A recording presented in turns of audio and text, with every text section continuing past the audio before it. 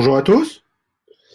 Euh, alors, ah, c'est très curieux d'être tout seul face à son ordi et de parler. Je ne sais même pas euh, combien de personnes sont là parce que j'ai pas encore mis en place les commentaires, mais je vais voir euh, ce que je peux faire. Tic tic.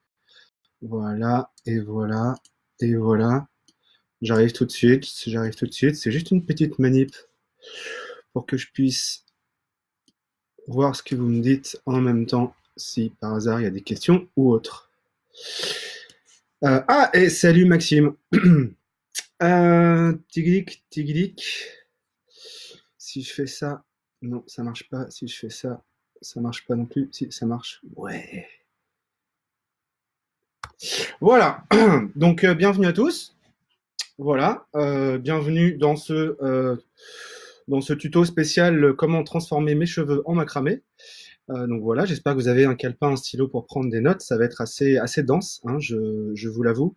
Euh, je vais commencer par faire l'appel, évidemment. Donc euh, je vois que Maxime est là. Est-ce que euh, Anne-Charlotte est là?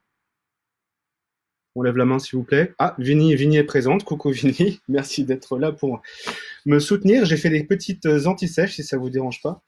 Je vous avoue que l'exercice est vraiment compliqué. J'ai l'impression d'être tout seul devant mon miroir. Euh, donc, ah oui, ben non, ben non, m'envoyez pas des messages en même temps. Euh, ouais, j'ai l'impression d'être tout seul devant mon miroir. Donc, euh, si à un moment j'imite De Niro ou si je chante de Elvis Presley, reprenez-moi et j'essaierai de repasser au sujet qui est celui d'aujourd'hui.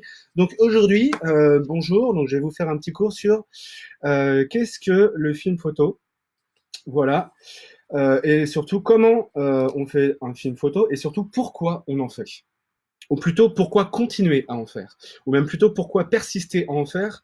Alors que l'économie derrière ce, format est, avouons-le, un petit peu bancal, et euh, encore plus dans ce contexte de euh, confinement. Je m'étais promis de ne pas dire ce mot, mais voilà, et que donc je n'ai aucun statut, plus aucune commande, plus d'argent, etc. Donc pourquoi faire du film photo? Et, euh, et, ben je continuerai à en faire malgré tous les obstacles. C'est vous dire si j'aime si j'aime ce format. Euh, je voulais déjà remercier euh, Tropisme et remercier l'équipe de Tropisme qui a euh, créé, organisé, développé ce petit ce petit live Facebook qui est le premier pour moi. Donc, je voulais remercier Charlotte Herriot, je voulais remercier euh, Marielle Rossignol, Vincent Cadroc, etc. Et, euh, et vous remercier tous d'être présents. C'est-à-dire que je me sens tout autant seul, mais je me dis qu'il y a plein de gens qui voient que je suis seul. Et c'est euh, pas simple. Euh, N'hésitez pas à me poser des questions au fur et à mesure, parce que je vais vous montrer, je vais vous montrer quelques films, je vais vous expliquer deux trois trucs, deux trois petits, euh, euh, deux trois petits tours de magie entre guillemets sur des, des films que j'ai pu faire où tout le temps les gens me disent mais comment t'as fait, mais comment t'as fait? Bah là, je vais vous montrer comment comment j'ai fait, vous expliquer aussi en parallèle euh, ce que c'est qu'un film photo. Euh, donc n'hésitez pas à, poser des questions au fur et à mesure euh, auxquelles je répondrai. Euh, je sais que ma secrétaire Anne-Charlotte a son calepin et son stylo pour prendre des notes et me redonner les questions une fois que j'aurai besoin de questions où je n'aurai plus rien à dire. personnellement, j'espère que vous êtes bien assis, que vous vous êtes servi un petit verre. Perso, je me suis servi quelque chose. Voilà. Donc santé à tous, j'espère que vous êtes tous assis bien confortablement. Euh, j'espère que vous euh, vivez bien ces quelques jours un peu particuliers. Et je suis content de, pouvoir égayer comme ça votre petite soirée de 18h à 19h, 19h30. Euh, et vous me direz si à la fin, si c'était absolument grandiose ou si c'était totalement pathétique. Et ce qui me donnera soit l'envie, soit le dégoût de refaire un jour un live Facebook. Voilà, donc le film photo, c'est quoi? Parce qu'il faudrait peut-être plonger un petit peu dans le sujet. Le film photographique, le film photographique tel que moi je l'appelle, tel que de, plus en plus de personnes l'appellent, euh, que d'autres appellent le diaporama sonore. Et oh, j'ai mon assistante qui me tend un petit papier. Euh, nous avons donc nous avons donc 30 secondes de décalage. Et donc, il faut que je mette les commentaires sur mon téléphone pour éviter les messages personnels. Merci, euh, secrétaire. Je me permets donc de passer sur mon téléphone pour obtenir les machins. Et je ferme ceci et hop, vous ne verrez plus rien de ce que les gens racontent. Voilà, donc j'essaierai de faire ça en même temps que je vous parle. Euh, J'invoque Shiva. Shiva, où es-tu? Shiva, je ne sais même pas comment aller euh, sur. Euh... Ben non, ben je vais, en fait, je ne sais pas, donc je vais retenir, je vais revenir sur le truc. Voilà, voilà. Donc, le film photographique, le film photographique, c'est en fait un, outil d'expérimentation, un outil d'expérimentation créative et un outil également de diffusion qui peut offrir euh, bah, de nouvelles dimensions euh, à celles et ceux qui utilisent la photographie soit euh, comme un outil professionnel, soit comme un, champ d'expression personnel. Et, et, et, donc pour résumer, un film photographique, c'est quoi? C'est un film bah, fait à base de photos. Moi, j'aime bien construire un film avec 100% de photos, sans, sans rajouter quoi que ce soit d'autre, comme de la vidéo ou autre. Euh, mais c'est possible. Le, mais l'appellation film photographique, en fait, on, va dire, euh, est acceptée à partir du moment où plus de la moitié du contenu du film est euh, de la photographie. Euh, j'ai une petite phrase moi que je ressors de temps en temps quand je fais des formations, etc. Euh, ou, ou, quand les gens me demandent ce que je pense du film photographique et pourquoi je fais du film photographique. Euh, je leur dis que le film photographique c'est à la fois l'immersion cinématographique et la magie de l'instantané photographique. Euh, c'est-à-dire le parfait mariage entre deux mondes qui, euh, bah, qui semblaient se bouder depuis quelque temps. Le cinéma et la photo vraiment ne fonctionnent absolument pas ensemble. Euh, pour preuve, quand on, si vous envoyez un film photographique en, festival de court métrage ciné, euh, votre film ne sera que très rarement sélectionné. Et inversement, enfin voilà, le cinéma refuse que la photo vienne, revienne au cinéma, alors que le cinéma est issu de la photographie. Mais voilà, c'est deux mondes qui semblaient se bouder, mais qui, grâce au film photographique, petit à petit, maintenant, tentent de se, de se rabibocher d'une certaine manière. Faut pas oublier que, euh, que l'histoire du cinéma est jalonnée de plusieurs films photographiques. pour exemple, deux films que potentiellement vous connaissez tous, qui sont, euh, que je vous montre les images, qui sont quand même La Jetée. La Jetée, film de Chris Marker de 1962, si je ne m'abuse. Euh, pour ceux qui ne l'ont pas vu, n'hésitez pas à le voir. D'ailleurs, je me permettrai peut-être de vous faire un petit post soit sur l'événement, soit sur le, le, les commentaires de, la vidéo du live qui arrivera ensuite sur la page de Tropisme, euh, avec tous les liens de tous les films dont on a pu parler euh, pendant, ce, pendant cette petite heure. Et donc, il y a La Jetée de Chris Marker, et un deuxième que beaucoup moins de gens connaissent, euh, et qui pourtant est tout aussi bien, c'est Colloque de chiens de Raoul Ruiz, qui, a été, qui a été fait en 1977. Voilà, alors si je vous montrais ces deux films, ça durerait déjà plus d'une plus d'une heure, euh, quoique moi ça m'arrangerait, mais, mais on, va éviter de, on va éviter de faire ça. Je, je préfère vous montrer des films que j'ai fait, parce que mon but aussi c'est de vous montrer mon parcours et de vous expliquer pourquoi aujourd'hui je fais du film photographique et pourquoi ça me passionne réellement, euh, tant d'un point de vue technique que d'un point de vue euh, théorique. Voilà, donc un monteur de film photo, c'est quoi? C'est moi, bonjour. Euh, je vais vous montrer donc un peu mon parcours parce que, en fait, j'ai vraiment découvert ce que c'était que le film photographique en 2016, 2015-2016, on va dire.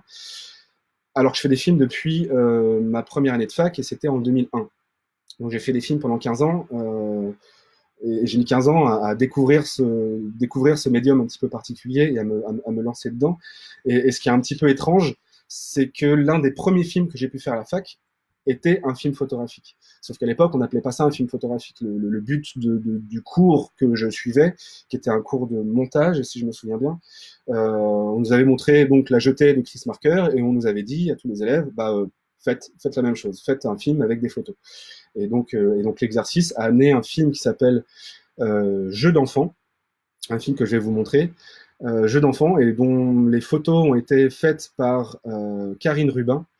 Euh, et dans le film, c'est moi qui ai fait le montage ensuite de ce film, et dans le film, vous verrez apparaître quatre personnes qui qui étaient à l'époque, donc en 2001-2002, ma petite sœur, Margot Brem, une amie de l'époque, Juliette Neditch, ainsi que ma mère, Laurence Brem, et ma grand-mère, feu ma grand-mère, Claude Rollin. Voilà, donc je vous montre ce film. On a fait des tests avec Marielle l'autre jour. Logiquement, si je vous montre un film, vous êtes censé avoir le son du film euh, suffisamment proprement. N'hésitez pas à commenter si vous me dites que, en fait, absolument pas, mais logiquement, ça va marcher. Et donc, jeu d'enfant, je vous le montre tout de suite.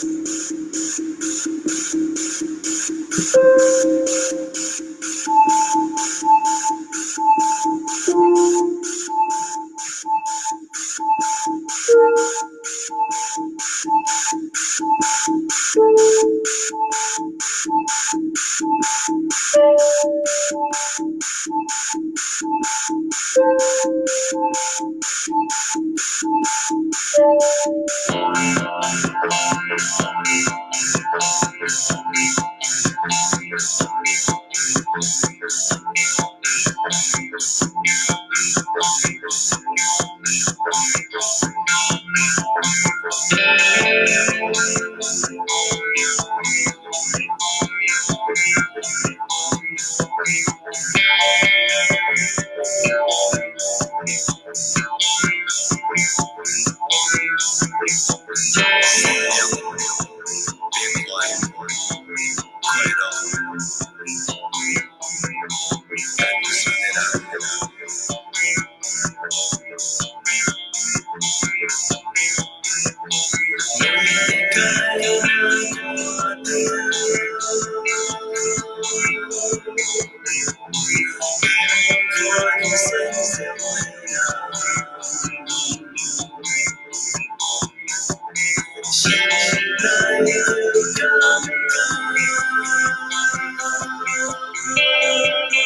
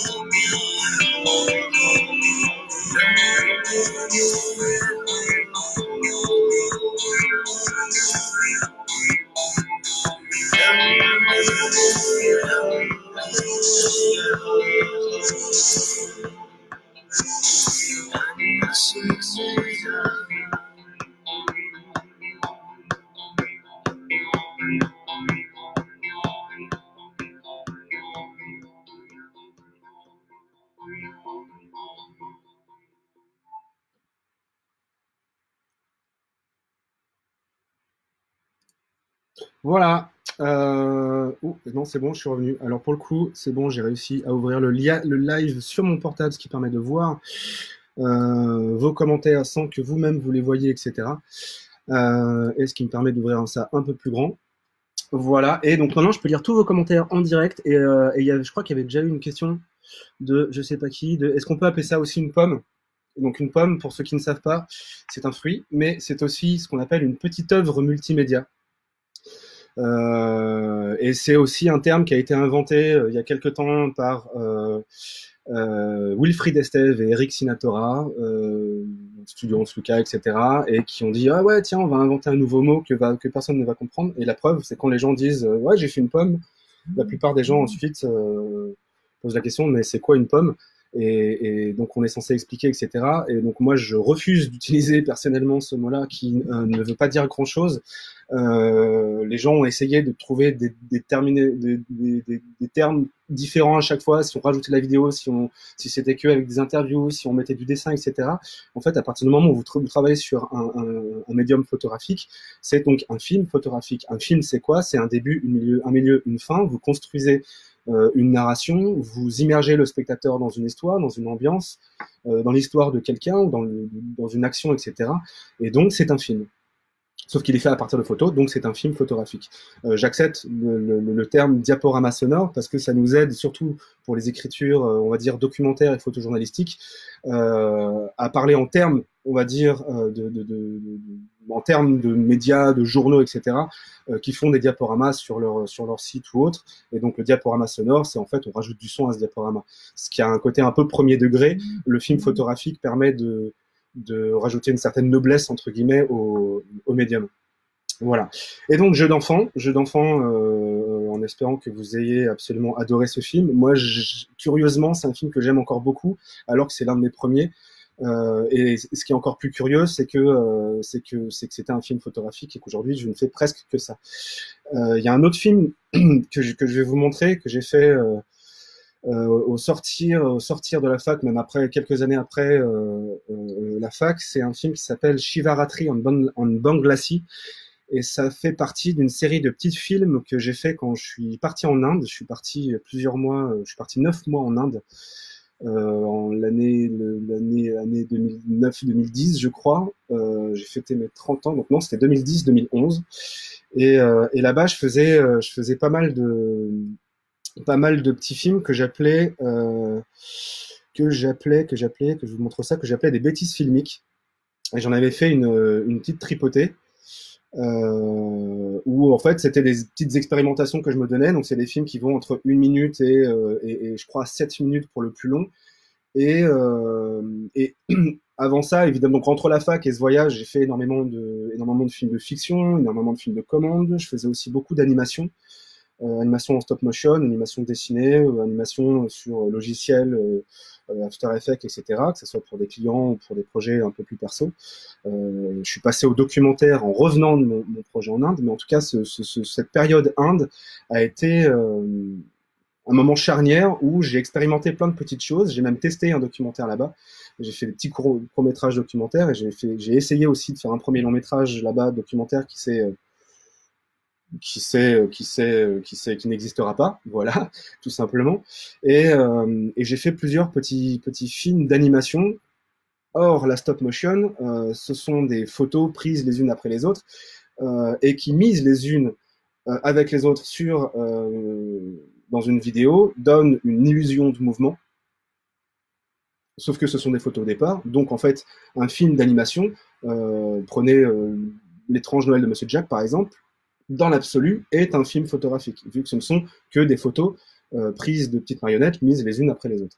Euh, et à l'époque, j'ai fait un petit film, une espèce de petit film d'animation, de stop motion, qui s'appelle donc Shivaratri en Bangladesh. Alors pour vous donner un peu la définition, euh, Shivaratri, c'est la nuit de Shiva. Ratri, c'est la nuit. Donc Shivaratri, c'est une célébration. Euh, on célèbre donc le dieu, le dieu Shiva, euh, c'est à une certaine date dans l'année et uniquement dans les villes dites shivaïstes. Genre que chaque euh, ville, village dans, en Inde a son, son dieu de prédilection. Et, euh, et, donc il y a quelques villes qui célèbrent Shiva, euh, Benares, Varanasi, par exemple, pour la plus connue. Et moi à l'époque j'étais à Gokarna, qui était en bord de plage, donc un petit peu plus, euh, un petit peu plus sympathique. C'est-à-dire qu'on pouvait se baigner là-bas, alors qu'à Benares, à Varanasi, vous vous baignez dans le Gange, ce qui est un petit peu moins, euh, voilà. Et, euh, et, donc c'est Shivaratri en Banglassi. Banglassi, c'est quoi? C'est un lassi, donc le lassi indien, mais qui est à base de, de cannabis principalement. C'est du lait, du cannabis, des épices et du miel.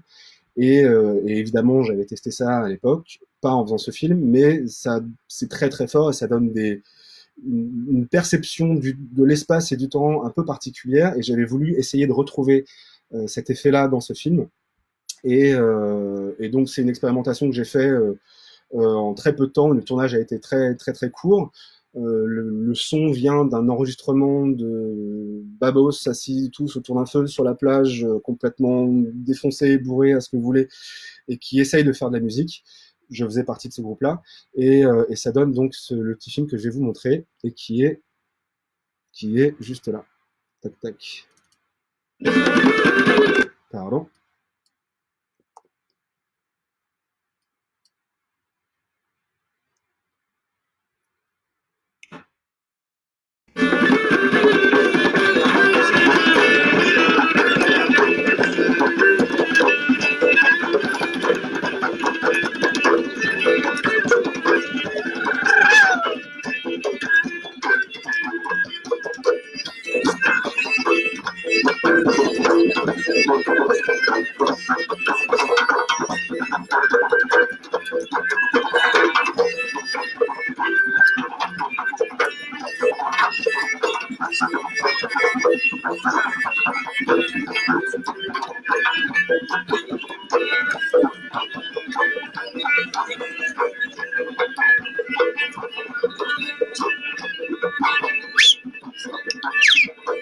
Thank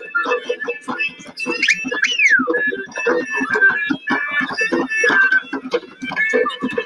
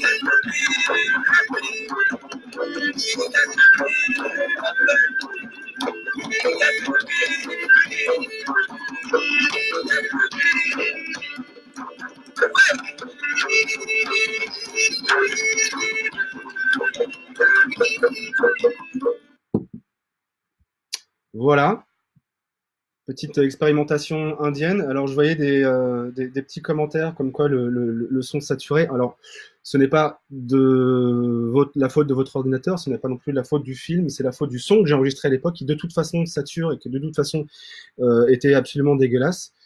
Et euh, mais ça fait partie du ça fait partie du côté extrême de ce film de euh, de, de, de, de voilà d'être dans l'extrême de l'image dans l'extrême de plein de choses alors pour vous expliquer un peu comment ce film a été fait euh, bah, s'il y a des s'il y a des photographes qui nous écoutent en ce moment euh, vous savez déjà comment ça se passe euh, mais pour les autres euh, bah, vous dire juste en fait c'est des, des photos qui sont prises avec une certain un certain temps de pause qui donne ce mouvement en fait de cette espèce de mouvement flou des gens.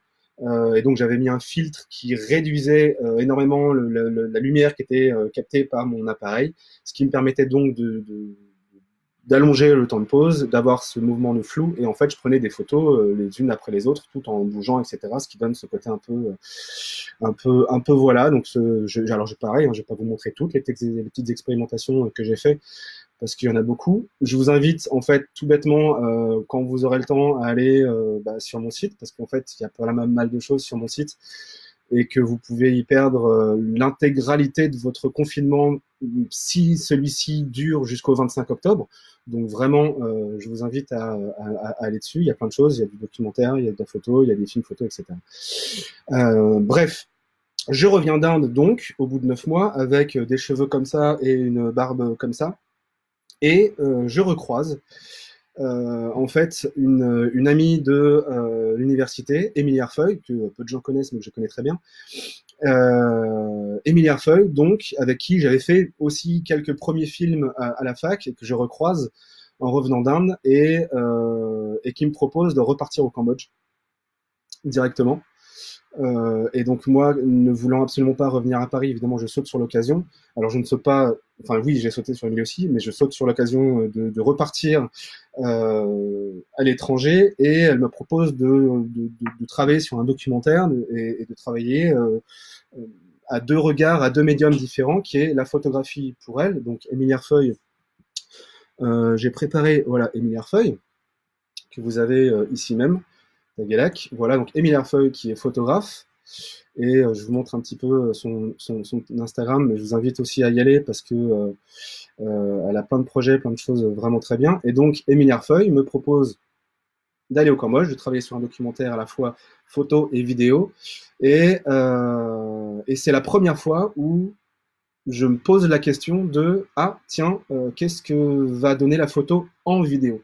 Parce que le but était qu'elle ait son travail photographique de son côté euh, mais que j'ai mon côté mon, travail vidéo documentaire linéaire du mien mais mon intérêt était de d'intégrer ces photos dans le film et donc de marier photo et vidéo chose que je n'avais euh, jamais faite avant en tant que en tant que réalisateur et en tant que en tant que monteur. Et donc c'est là où je me suis posé vraiment pour la première fois des questions sur euh, que va donner que vont donner des photos sur une timeline vidéo à côté de vidéo. Donc la, réflexion en fait sur la, réflexion un peu théorique sur ce qu'est euh, sur la comparaison photo-vidéo, sur le, rapport de temporalité entre photo-vidéo, c'est à cette époque-là que je me pose euh, pour la première fois ces questions. Euh, donc là, je vous montre encore deux trois, deux, trois photos des meilleures feuilles, mais je vous invite à aller euh, ensuite sur son Instagram. Moi, ce que je vais faire, c'est vous montrer en fait le, la bande-annonce de ce film qu'on a fait ensemble, donc qui s'appelle euh, Scars of Cambodia, qui est le portrait d'un Cambodgien d'une cinquantaine d'années, qui s'appelle Tout, et euh, qui avait vécu quand il avait 15 ans, donc à la période du, génocide de Khmer Rouge dans les années 70 et qui a, vécu prison, torture, camp de travail forcé, etc. Et qui, en nous rencontrant, s'est senti dans le, dans le besoin de nous, de nous témoigner son passé, de nous témoigner son histoire, chose qu'il n'avait apparemment jamais fait en 40 ans. Et donc, euh, et donc on a enregistré entre guillemets donc en son, photo, vidéo, tout ce qu'il a pu, a pu nous raconter. Euh, est sorti de ce projet-là un film de 30 minutes qui est muet, totalement muet, parce qu'on vu qu'on ne parlait pas la même langue, euh, bah, pour lui, avec cette envie de communiquer, en fait, il a utilisé ce qu'il avait, c'était son corps, et donc il nous a, nous a, nous a euh, témoigné son histoire par geste, par mime, c'est le langage du corps avec son corps, etc. Euh, et, donc ça a donné un, documentaire de 30 minutes muet, une série photo. Il y a un, livre aussi qui est sorti aux éditions Sometimes. Euh, il y a des expositions aussi qui ont, qui ont, qui ont été euh, élaborées à, divers endroits. D'ailleurs, la prochaine exposition, euh, enfin, le, on va être exposé, ce projet va être exposé aux promenades photographiques de Vendôme en juin, si je ne m'abuse le grand questionnement de cela va-t-il être annulé ou pas? Je ne sais pas. Y a-t-il des questions? Je crois qu'il y a une. Ok. Merci Sophie pour partager le lien de l'Instagram d'Emilie. Euh, je vais vous montrer donc la bande-annonce de Scars of Cambodia qui dure deux petites minutes, euh, dans, laquelle on voit un petit peu ce mélange de, photos et de vidéos. Évidemment, je vous invite à, aller voir le film tout bêtement. Hein. vous allez sur scarsofcambodia.com. Euh, il y a la petite case euh, voir le film. je, crois que si on clique dessus, le film se lance. Je vous laisserai tester. En attendant, je vous montre le teaser. Ou pas ah.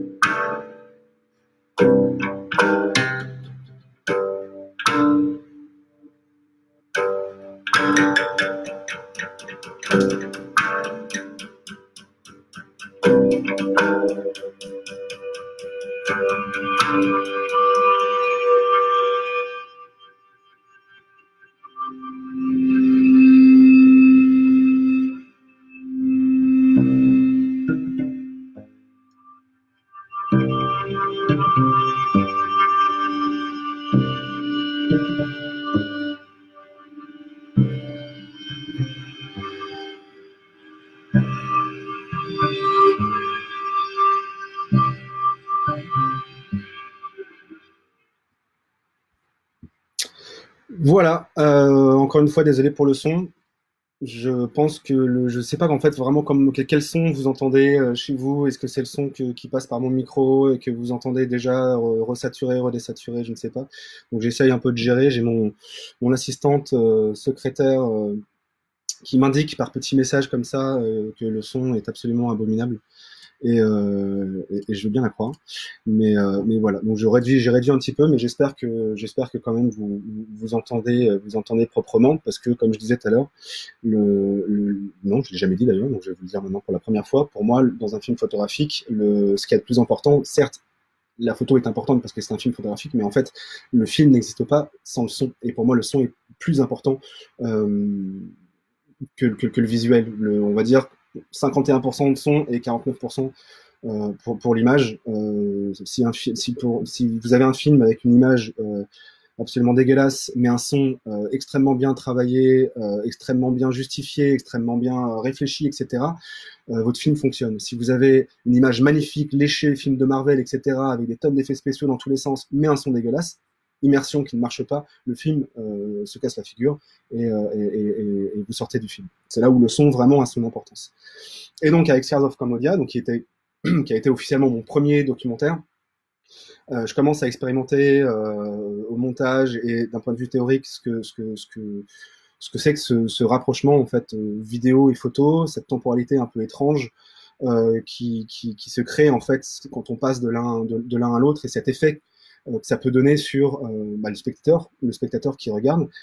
Et, et pour le coup, quelques années après, je, reste un peu sur cette cette ligne, sur ce fil rouge documentaire euh, quelques, années après, en 2015, euh, va commencer un deuxième projet euh, documentaire. D'ailleurs, je vois que Michel Swamka nous a rejoint pile poil au bon moment, au moment où on va parler de lui.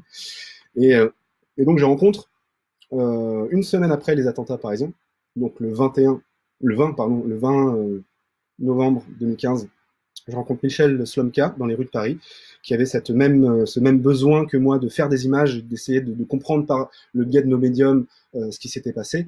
Euh, donc Michel Slomka, que je vous... Top, top, où est la petite photo? Elle est là. Michel Slomka, qui est en petit là. Euh, à côté de Babacher, je vous expliquerai après euh, qui est Babacher. Et donc Michel Slomka, donc photographe, avec qui donc je pars sur euh, sur un projet documentaire qui va s'appeler euh, Sinjar, naissance des fantômes. Voilà l'affiche. Euh, Sinjar, naissance des fantômes, et qui est donc un, documentaire pareil, avec deux regards, deux médiums, photo et vidéo. Euh, un projet documentaire qui euh, s'intéresse à la communauté yézidi et notamment euh, le massacre qu'ils ont vécu à partir du 3 août 2014. La, notre question étant comment, cette, commun cette communauté fait pour, survivre après ce genre de, massacre? Euh, massacre qui a été perpétré par l'État islamique. Ils ont été évacués de leur terre ancestrale, ils ont été mis dans des camps de réfugiés, les hommes ont été tués, les, les, les vieux ont été tués, les enfants ont été pris dans les armées comme enfants soldats, les femmes ont servi de, de, de, de monnaie, de, enfin, en tout cas ont servi d'esclaves sexuels euh, pour les pour les djihadistes. Et donc notre question à travers ce film a été euh, comment comment comment une communauté euh, telle que la communauté yézidi fait pour survivre euh, alors qu'ils ne sont alors que alors que leurs proches ne sont plus là, alors que euh, sont morts mais ils ne savent peut-être pas, enfin ne savent pas s'ils sont morts ou s'ils sont encore euh, emprisonnés, ils sont plus sur leur terre, ils sont dans les camps, etc. c'est un projet qui est qui est sur le point d'être vraiment terminé. Il y a déjà eu certes deux trois deux trois projections, mais la bonne nouvelle, c'est qu'on a trouvé euh, entre-temps un producteur et, une, et un distributeur. Euh, la 25e heure, donc une, boîte parisienne qui, euh, qui, a pris notre projet sous son aile et qui, euh, a une belle ambition, une, belle ambition sur ce film, à vouloir vraiment montrer ce film beaucoup plus loin que nous, ce qu'on pensait pouvoir faire. Donc ils ont vraiment envie de l'envoyer dans des grands festivals, là, ils voulaient, enfin, ils l'ont envoyé à Cannes, au Festival de Cannes, pour les sélections de, la quinzaine des réalisateurs et la semaine de la critique. Bon, le, le, le, le festival est repoussé, voire peut-être annulé, donc euh, pas de bol. Mais, euh, mais voilà, ils ont cette ambition sur le film, ce qui permettra à ce film d'être vu euh, par beaucoup de gens que ce qu'on espérait au départ. Et le principe le principal pour nous, c'est que justement ce film euh, soit vu et que l'histoire de ces yézidis soit euh, connue euh, largement par, un maximum de personnes. Et donc, Babacher, Babacher qui est en fait le l'équivalent du pape yézidi, parce que le yézidisme est une religion un peu particulière, et donc Babacher en est, en est le, la, force spirituelle, on va dire le, pape spirituel du yézidisme. Pareil, là je vais vous montrer la, la, petite bande-annonce euh, et je vous inviterai à voir le film quand il sortira, quand il sera disponible, quand il sera visible, euh, soit dans le travers de projections, de, cinéma ou je ne sais où. Euh, nous verrons ça plus tard, mais entre-temps, je vous montre déjà la bande-annonce en espérant que le son soit de bonne qualité.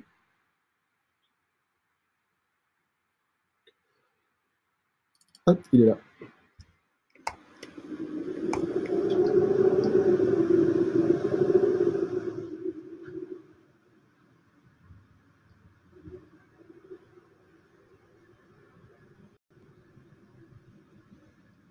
La vérité, c'est que dans ces moments-là, on n'imagine jamais le pire.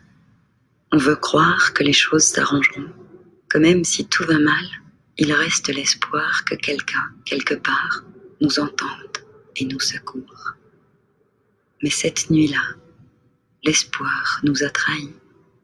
Qui pouvait imaginer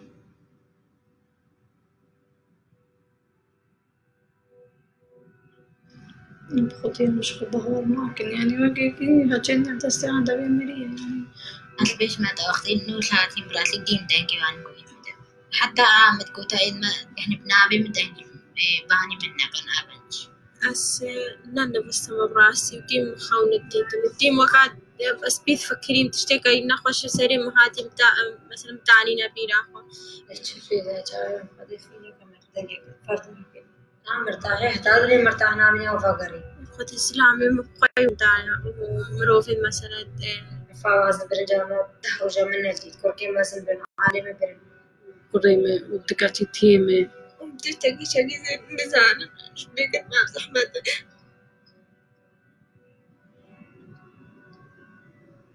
Il faut dire, dire pour conjurer le silence auquel ils ont voulu nous réduire conjurer leur violence, conjurer les cris. Il faut dire, ouvrir les yeux, sortir du noir.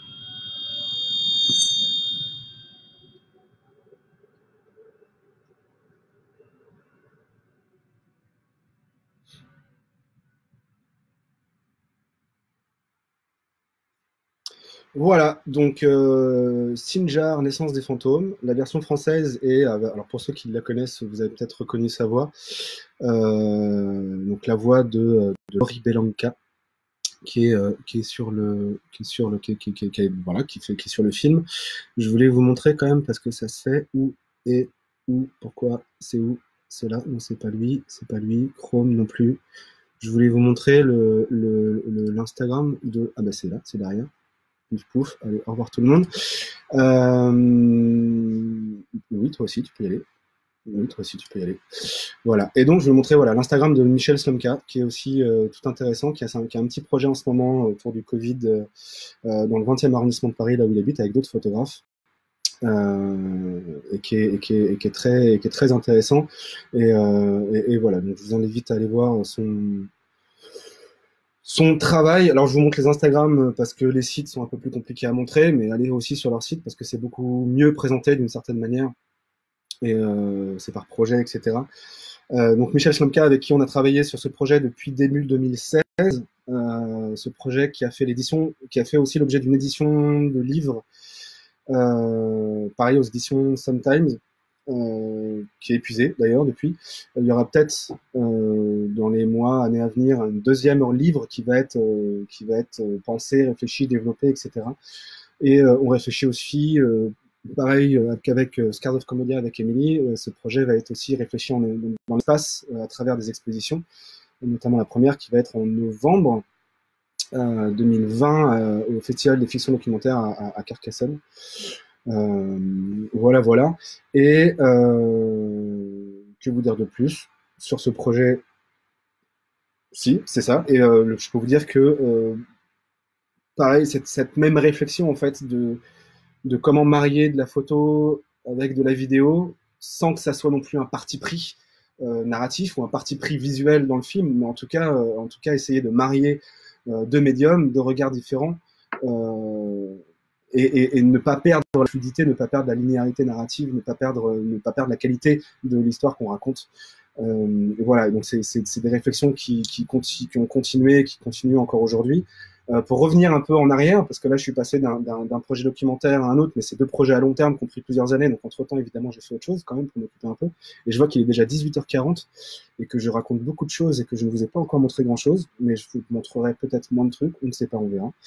Euh, donc pour revenir un peu en arrière, euh, certes je rencontre Émilie pour faire un documentaire, je rencontre un peu ce que c'est que le médium photographique, moi-même étant incapable de prendre des photos, mais pour faire des films photographiques, il faut bien évidemment rencontrer des photographes. Et en fait, je découvre le monde, le réseau de la photographie euh, au Festival des Rencontres d'Arles, qui a euh, tous les ans, euh, plus ou moins à début juillet. Et là-bas, je rencontre énormément de photographes. Je développe là-bas parce que évidemment en tant que vidéaste je m'ennuie un petit peu dans un festival de photos donc j'essaye de m'occuper en faisant des vidéos et donc je crée une série qui s'appelle Arlala dont je ne vous montrerai pas d'extrait mais euh, mais vous pouvez aller voir euh, il y a euh, trois saisons et demie donc faites aux rencontres d'Arles et une petite saison aussi faite au, festival Map de Toulouse et il y a des tonnes de ça ne s'affiche pas si ça s'affiche voilà, il y a, a des tonnes d'épisodes. Il y a par exemple, il y en a euh, euh, 18 pour, la saison 1. Il y en a, je pense, même plus pour la saison 2. Euh, donc voilà, c'est un truc que j'ai fait pendant trois ans. C'est une web série qui est complètement décalée sur les rencontres d'Arles. Et mon but était d'essayer de, dire, de, désacraliser euh, ce qu'on appelle l'instantané photographique et aussi de désacraliser aussi le monde de la photographie tel qu'il est, euh, tel qu'il existe aux rencontres d'armes. Que moi j'ai toujours trouvé un peu étrange. Et mon, mon but était entre guillemets de me moquer de ce que je voyais, tout en me moquant de moi-même. Euh, C'était un exercice un peu compliqué parce que j'étais en auto, auto-filmage, donc je racontais mes conneries tout en étant dans des situations, etc. Je vous invite à aller regarder ça, mais c'est pas vraiment le sujet de, ce soir. Euh, en tout cas, je rencontre énormément de photographes.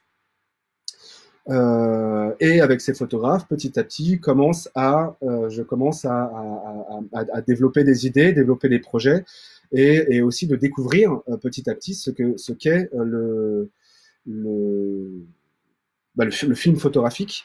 Et donc, je me lance dans deux premiers deux premiers projets, deux premiers projets de films photographiques avec deux amis que je rencontre à Arles, qui sont Sandra Fastre, Sandra avec qui j'ai réalisé un petit film qui s'appelle Naya, qui est le portrait d'une euh, jeune femme qui est euh, malheureusement atteinte d'un cancer du sein euh, sa jeune trentaine et qui est dans une espèce d'impasse administrative. Elle est euh, trop âgée ou trop jeune pour recevoir des subventions ou des, des aides. Euh, elle n'a pas d'enfant, elle ne peut pas avoir d'aide. Elle gagne trop, elle a un emploi où elle gagne trop, donc elle ne peut pas recevoir d'aide. Donc c'est un, film comme ça sur le, surréalisme de sa situation.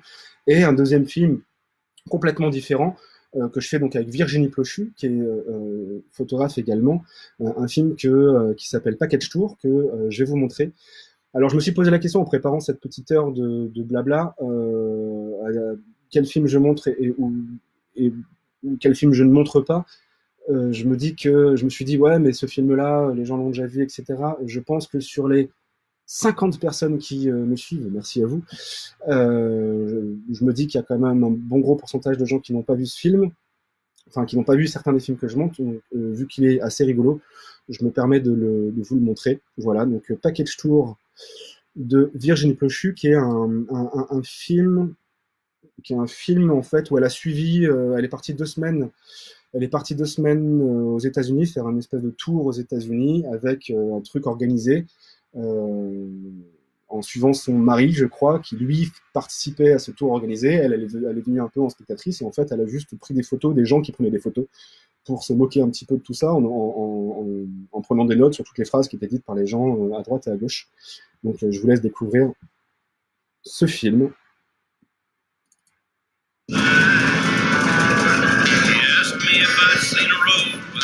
dust and sand. And I said, listen, I've traveled every road in this here land. I've been everywhere, man.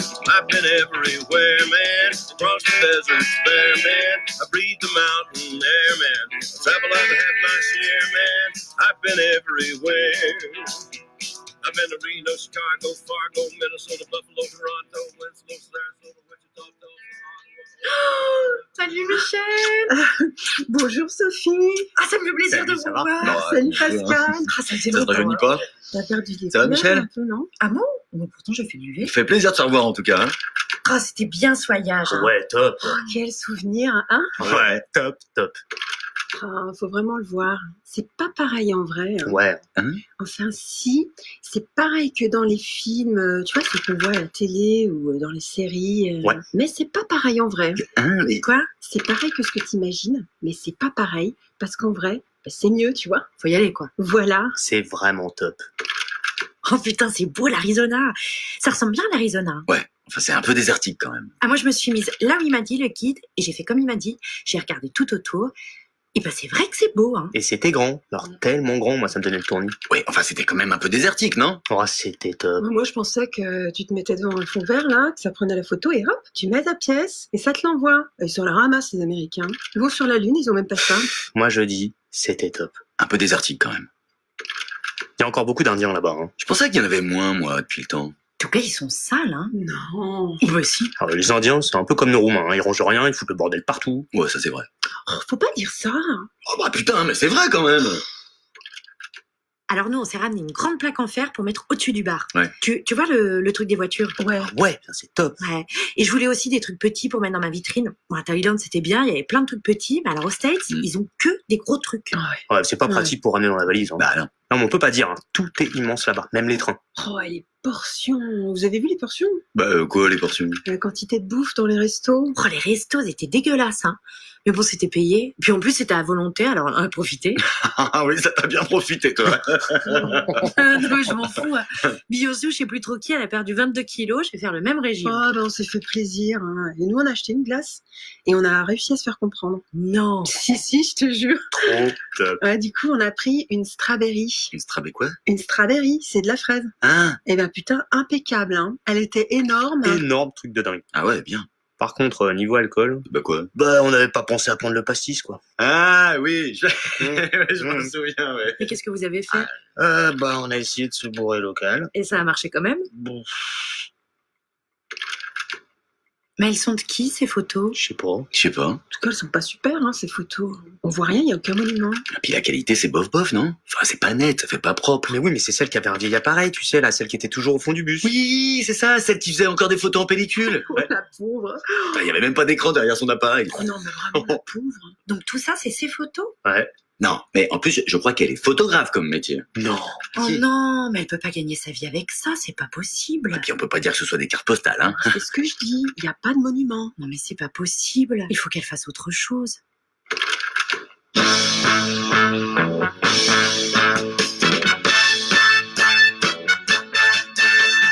Mes amis, je dois m'en aller. Je n'ai plus qu'à jeter mes clés, car elles m'attendent depuis que je suis né. L'Amérique, l'Amérique, l'Amérique, je veux la voir et je l'aurai. L'Amérique, l'Amérique, si c'est un rêve, je le saurai. L'Amérique, l'Amérique, si c'est un rêve, je rêverai.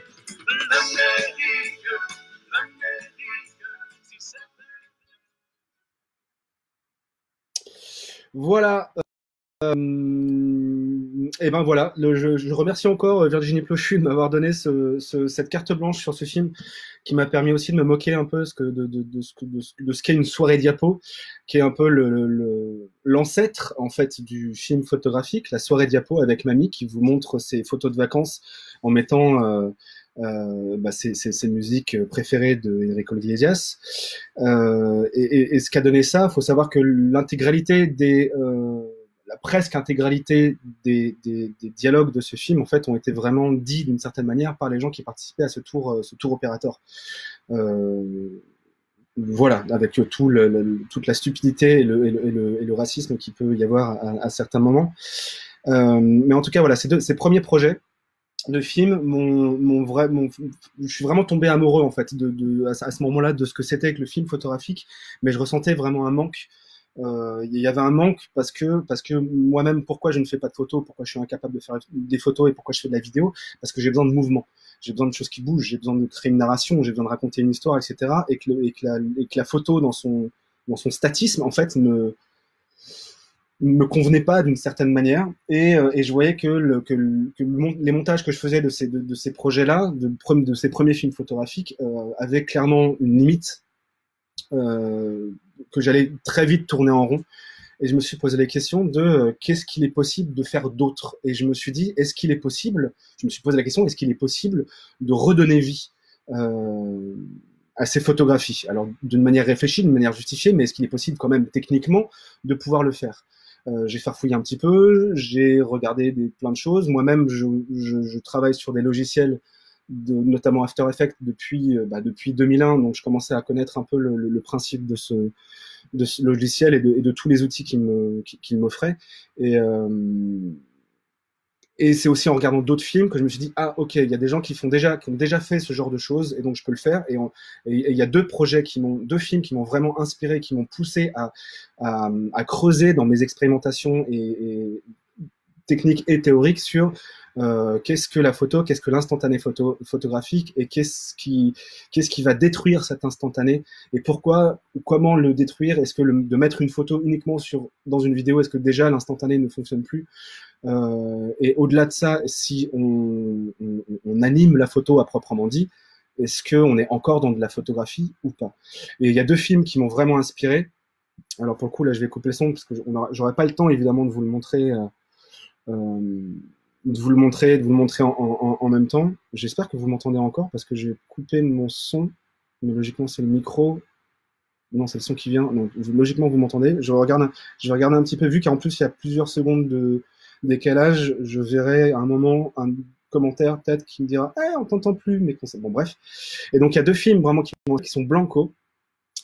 Euh, de Stefano De Luigi, qui est un film sur, euh, qui est un, gros projet documentaire, euh, un travail documentaire de 5 ans qu'il a fait plus ou moins entre 2003 et 2008, plus ou moins sur les conditions de des aveugles aux quatre coins du monde. Euh, savoir que ce film a euh, reçu un WordPress et, c'est un truc qui m'a vraiment motivé. Je me dis, ok, un film photographique d'une certaine manière expérimentale dans la, manière de, traiter l'image, de traiter la photographie, peut obtenir un WordPress. Donc ça veut dire que le, le voilà, je m'oriente pas vers quelque chose qui est, euh, de toute façon stupide et, euh, et enfin je, je me voilà, je, je vais pas dans un cul-de-sac. Et euh, voilà, ce film-là m'a énormément inspiré. Alors il y a deux trois photos, mais voilà, c'est la, première fois que j'ai vu que sur une photo, on pouvait voir des éléments bouger les uns avec les autres, ou les uns en fonction des autres, que ce soit le, premier plan d'une personne et l'arrière-plan euh, fond, euh, de voir euh, des mouvements dans les photos, de voir des, euh, choses comme ça, sachant que dans ce film, il n'y a absolument aucune voix off, il n'y a aucun témoignage, il n'y a rien, ce n'est que de la musique, que du son. Euh, et il y avait vraiment, euh, je crois qu'il a travaillé avec euh, trois ou quatre monteurs graphistes pour pour faire ce film. Et donc ça, ça a été une de mes premières inspirations. Et le, ma deuxième inspiration, en fait, vient d'un autre genre. c'est un film qui s'appelle Beauty, donc de Rino Stefano Tagliaferro, les Italiens m'ont vraiment euh, inspiré là-dessus. Euh, film Beauty qui en fait s'est attardé à, euh, à animer des peintures de plusieurs périodes. Le but étant de parler de, la beauté de la peinture, de la beauté du corps, la beauté euh, de la beauté de la femme et de la beauté de l'homme, euh, et en, en, redonnant vie à certaines peintures. Alors si on voit rien, bon, les premières les premières images sont peut-être moins intéressantes, mais euh, ça se voit vraiment un peu plus tard quand on voit voilà. Et, euh, pour ceux qui connaissent un peu mon travail euh, via euh, Polka Magazine ou autre, en fait, c'est plus ou moins exactement la même chose. C'est-à-dire que non, je n'ai rien inventé. Euh, ce, même ce principe de, de ce qu'on appelle le parallaxe, de, recréer une espèce de mouvement entre un premier plan et un arrière-plan, en fait, c'est quelque chose qui a été utilisé dans la mode euh, depuis, très longtemps, en fait, euh, dans des pubs pour la mode où on voyait des photos animées où on voyait juste le premier plan bouger en fonction de l'arrière-plan. Euh, et ensuite l'animation des personnages, le rajout de, particules, de petites fumées, de petites, euh, petits, de petits, de, petits, ce qu'on appelle des miscellaneum, des miscellaneous en anglais. Euh, c'est des choses que j'ai vues pour la première fois dans ce film et, euh, et, qui sont et qui m'ont vraiment inspiré. Je me suis vraiment posé la question de, euh, ok, est-ce que moi je suis capable de le faire? Et bah, je l'ai testé, tout bêtement. Je l'ai testé avec un film Bon, je vous laisse tourner le film. Je l'ai testé avec un film qui s'appelle Black Bazaar, à partir des photos de, de, de. Euh, je l'ai testé aussi en parallèle avec Polka Magazine. Alors pour à cette époque-là, tout vraiment parce que ces, films-là, Package Tour ou Naya, ont été euh, sélectionnés dans les soirées de projection à Diapero. Diapero, qui est une, association qui a été créée en 2012 euh, par Marianne Rigaud, Paul-Alexis Bernard et Gilles Denada pour promouvoir ce médium particulier qu'est le film photographique, mais principalement pour les écritures documentaires ou photojournalistiques. C'est une association que bah, dans laquelle je suis rentré en, en 2000 quelque chose, 2017, 2016, je ne sais plus, ma mémoire défaille. Euh, donc voilà, Diapero, Diapero avec qui on a fait, alors peut-être que vous l'avez vu aussi passer, je, me permets de mettre pause, euh, on a créé dernièrement une petite, ce qu'on appelle une diapérothèque, euh, dans laquelle on a fait une sélection assez large de beaucoup de films photographiques que l'on a appréciés euh, ces dernières années. Bah, vous retrouverez là-dessus Colloque de chiens et, euh, et La Jetée, euh, mais voilà, on a essayé de classer ça du mieux qu'on a pu. vous avez énormément de films, vous retrouvez aussi Blanco, vous avez voilà humour, sport, politique, enfin voilà, vous avez toute une série de films. Donc, je vous invite un peu à aller, voir un peu ce qui se passe là-dessus. Il y a beaucoup beaucoup de films. Euh, et une petite sélection aussi Polka. Euh, donc Polka qui est, une, série. Et donc pour, pour revenir là-dessus, c'est euh, au travers des soirées Diapéro que j'apprends l'existence de ce qu'on appelle le prix du diaporama sonore. Le prix du diaporama sonore qui a été créé, je crois, en 2016 par euh, Diapéro. Hop, petit logo Diapéro. Euh, et en 2000, euh, 2000 quelque chose, euh, je, euh, avec Sandra, on se, on, se dit, donc Sandra Fast, on se dit, tiens, on va tester le prix du diaporama sonore avec Naya. Euh, en fait, le prix cette année-là a été remporté par Diary of an Exile, qui est aussi dans la diapérothèque de Marion Potosny. Euh, mais le film est tout de même acheté par Mediapart, etc. Et euh, via ce, ce, cette soirée spéciale de remise de prix, etc., je rencontre l'équipe de Polka Magazine, qui est partenaire du prix, euh, qui m'invite à euh, travailler, à, à, réfléchir ensemble sur potentiellement un projet de petite vidéo pour Polka. Euh, et c'est là où je commence à travailler sur plein de choses un peu en même temps. Black Bazaar, donc le film de Type Viatar, que je vais vous montrer juste après, et euh, la série Chaque photo a son histoire euh, pour Polka Magazine. que je, que je fais, cette série que j'ai que j'ai commencé il y a plus ou moins trois ans, je crois qu'il y a une trentaine, une trentaine de vidéos en tout. et pour le coup, je vais vous montrer, je vais vous montrer deux films. Alors, il est 19h, logiquement, euh, c'était censé plus ou moins se terminer à 10h. Eh bien non. Euh, eh bien non, pas du tout. En plus, je vois qu'il y a plein de gens qui regardent encore. Vous êtes encore 51 personnes. Si on descend en dessous des 10, je me dis, ok. Mais tant que vous êtes là, et je vais essayer de terminer pas trop trop tard quand même. On va dire que d'ici 20 minutes, une demi-heure, ce sera presque terminé. Euh, bref, Polka Magazine d'un côté, Black Bazaar de l'autre. Dans les deux cas, je veux redonner vie aux images. Euh, je veux redonner, vie aux images, mais de manière euh, réfléchie. C'est-à-dire que pour, pour Polka Magazine, ce qui m'intéresse, c'est euh, l'avant, l'avant instantané. C'est-à-dire que mon but est d'interviewer le photographe, de me raconter l'histoire, les anecdotes qui tournent autour de la photographie que je vais animer ensuite. Et dans le film, je m'attelle à développer, à étirer le temps qu'il y a juste avant cet instantané, juste avant le moment où la photo a été prise. Donc c'est juste le temps d'avant la photo.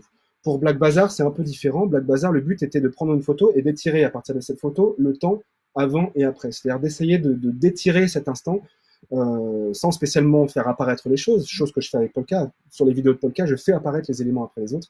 Euh, Black Bazaar, c'est différent, c'est chaque photo est euh, complète à chaque fois, tous les éléments sont là, et j'essaie juste, via l'animation, d'étirer cet instant je vais vous montrer, ce sera quand même un peu plus clair. Donc je vous montre d'abord Black Bazaar, euh, d'abord Black Bazaar, ensuite le film de Polka, et ensuite je vais prendre 5-10 minutes pour, euh, pour vous montrer en fait comment ces films, comment ces films, vous montrer plus ou moins un ou deux tours de magie de, de, comment, euh, comment, comment le travail a été fait pour ces films.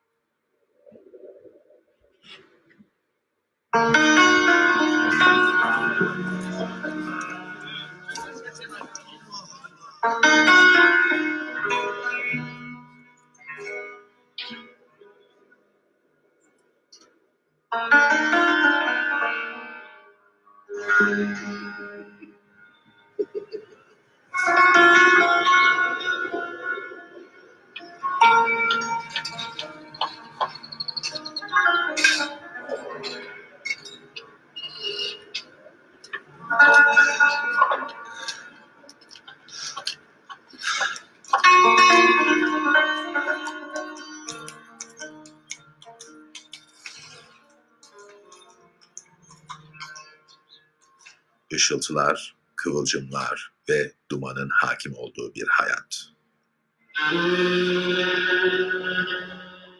Alacakaranlığın bıçak gibi geceyi yaran ışık yüzmelerinin kollarında.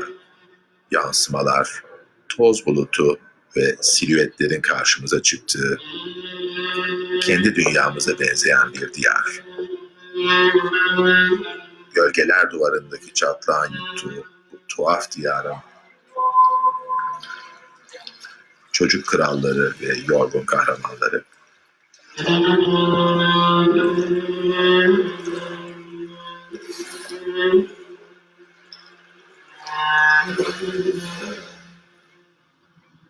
Efsunla örülmüş gündelik hayatlar.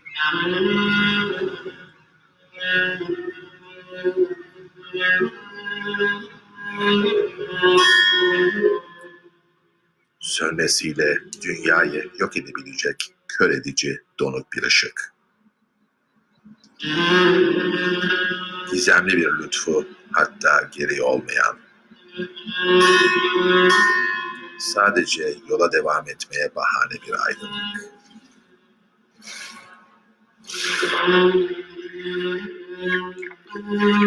İşlenip ışık saçmadan önce soluk, tek düze görünen nesneler. Anın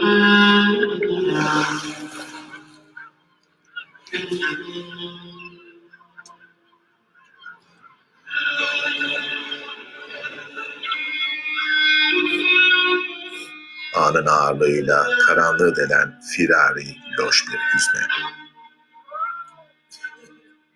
Işıltılar ve esrarengiz bakışlar arasında.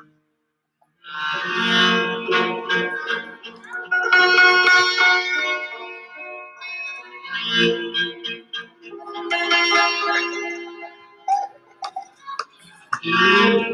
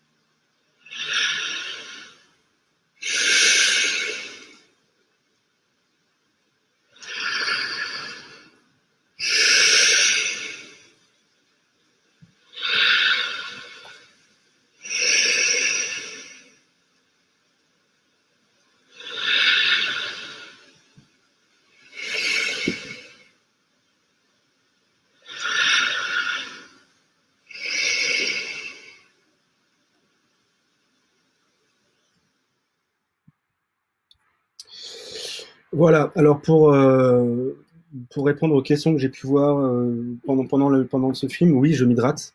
Alors je m'hydrate, je m'hydrate à, base de whisky, mais je m'hydrate quand même. Hein, je fais ce que je peux. C'est tout ce que j'ai chez moi. Hein. Dans les supermarchés, il n'y a plus d'eau. Euh, L'eau a été coupée ici. Tout ce que je trouve, c'est du whisky, donc je bois du whisky. C'est comme ça.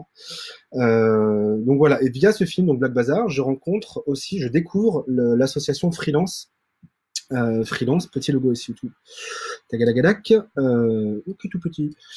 Euh, freelance, donc, qui a créé euh, il y a quelque temps le prix Nouvelles Écritures. Le prix Nouvelles Écritures, euh, qui, qui récompense ce genre de, de film, ce genre d'expérimentation de film photographique.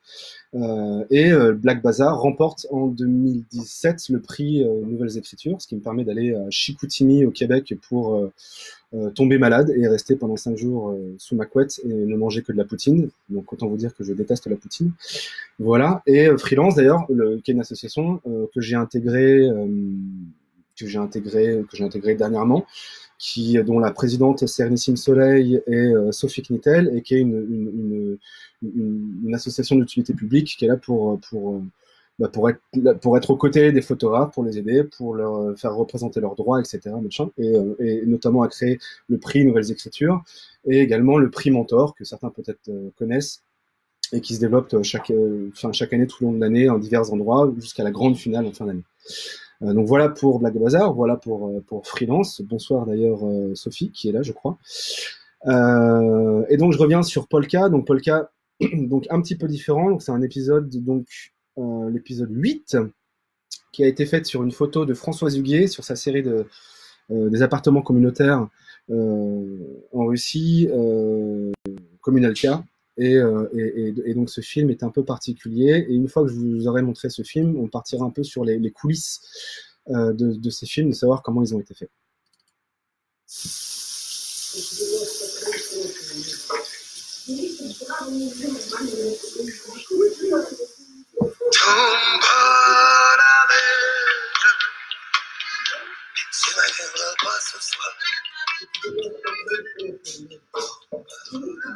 C'est les couleurs euh, de l'Union soviétique, hein, cette espèce de, vert bleu, euh, de ce beige, alors évidemment dans un état absolument déplorable. Ce qui m'intéressait aussi, c'était euh, les produits qu'ils utilisent pour se laver les cheveux, pour le corps, etc. Je, je, me suis posé des questions sur les brosses à dents, et c'est pareil, les brosses à dents, ça vous dit depuis combien de temps elle existe, qu'elle est là? On a vu depuis pas mal de temps. Le plastique rouge sur le carrelage euh, contre le mur. Le mur est déjà tellement déglingué, le carrelage déglingué, que ça peut passer euh, dans l'appartement d'à côté. C'est une association de couleurs qui est typique à la Russie de l'Union soviétique. Et ça, dans tous les appartements, c'est comme ça. Mais ça me faisait toujours rire, parce qu'il y a un mec qui devait décider tout. Tout était choisi à Moscou. Il y avait un bureau pour l'architecture, tout était choisi à Moscou.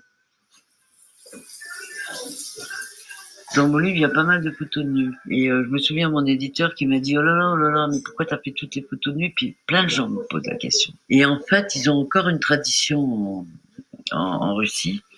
On pose pour un artiste. C'est le modèle qui n'existe plus du tout ici. Mais c'est les filles qui me demandaient, qui me demandaient, moi j'aimerais bien que tu me prennes nu. Alors je disais, bah oui, pourquoi pas, alors on va trouver un endroit. Et, à mon égérie, euh, Natacha, elle, ben, la première fois qu'elle m'a reçu dans sa chambre, elle m'a reçu à poil. Donc là, c'est clair C'est ça aussi les appartements communautaires et la Russie. Hein. C'est ça. Hein. La Russie est quand même un pays absolument passionnant. Hein.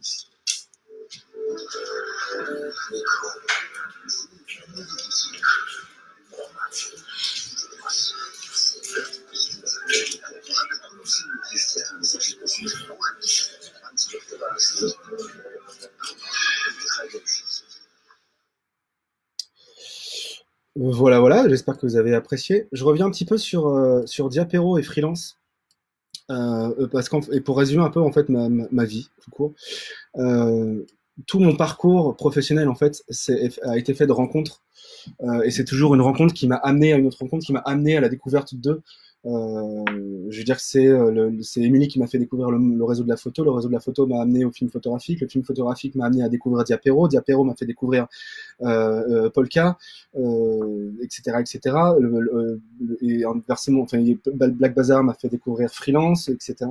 ce qui est, et, c'est assez, c'est assez particulier. Et d'ailleurs, pour revenir sur Freelance, le prix Nouvelles Écritures 2019 a été remis à un film qui s'appelle Dosta, de euh, Vanessa Gilles. c'est tout petit. J'ai préparé mes, visuels bien petits, comme ça, si vous êtes sur votre petit smartphone, vous ne voyez rien. Euh, Dosta, Parole et mémoire de Femme Tzigane, qui est un film euh, de, Vanessa Gilles, qui a remporté le prix Nouvelles Écritures 2019. Et chose que je n'avais pas vraiment le droit de dire à l'époque, parce que je faisais partie de freelance, quand bien même je me sois retiré des jurys, des pré-jurys, et que je, je, ne me sois occupé que de l'organisation en coulisses du prix, euh, Dosta, c'est un film que j'ai monté. Voilà, tout comme Black Bazaar. Donc je suis content euh, d'une certaine manière d'avoir aussi remporté le prix Nouvelles Écritures pour ce film d'Osta, que je vous inviterai aussi euh, via le lien que je vous donnerai à regarder. Parce que c'est un film vraiment, vraiment très fort, vraiment particulier. Et, euh, et voilà. Donc, les coulisses de ces films. Euh, alors, si je vous pose la question de hey, vous voulez savoir quoi exactement Vu le- les, minutes de latence euh, et de décalage, j'aurai ma réponse dans une minute. Donc là, on va pas le, dialogue va s'arrêter euh, très vite. Mais j'ai préparé le coup. Donc là, vous avez pu voir ma brouille plus trop pendant un bout de temps, mais c'est pas grave parce que c'est pas ce qui est le plus important. Et, euh, et pour vous raconter un peu, enfin pour vous montrer un peu comment se passe, euh, comment se passent les choses et comment se passe le travail sur ce genre de film. Il faut savoir que Black Bazaar, euh, quand bien même je connais les outils, quand bien même je maîtrisais les outils, etc. Black Bazaar, le film que vous avez vu, c'est un mois de travail. Et quand je dis un mois de travail, c'est pas un mois du 1er au 31 du mois, c'est un mois en, en comptant euh, 8 heures par jour pour des jours ouvrés, entre guillemets.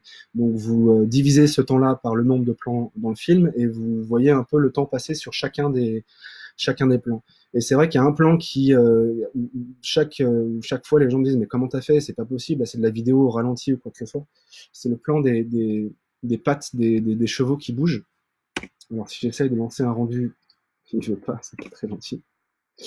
Ok, c'est pas grave, on va faire ça en live. Et donc on a ce, on a ce mouvement de, ce mouvement de pattes.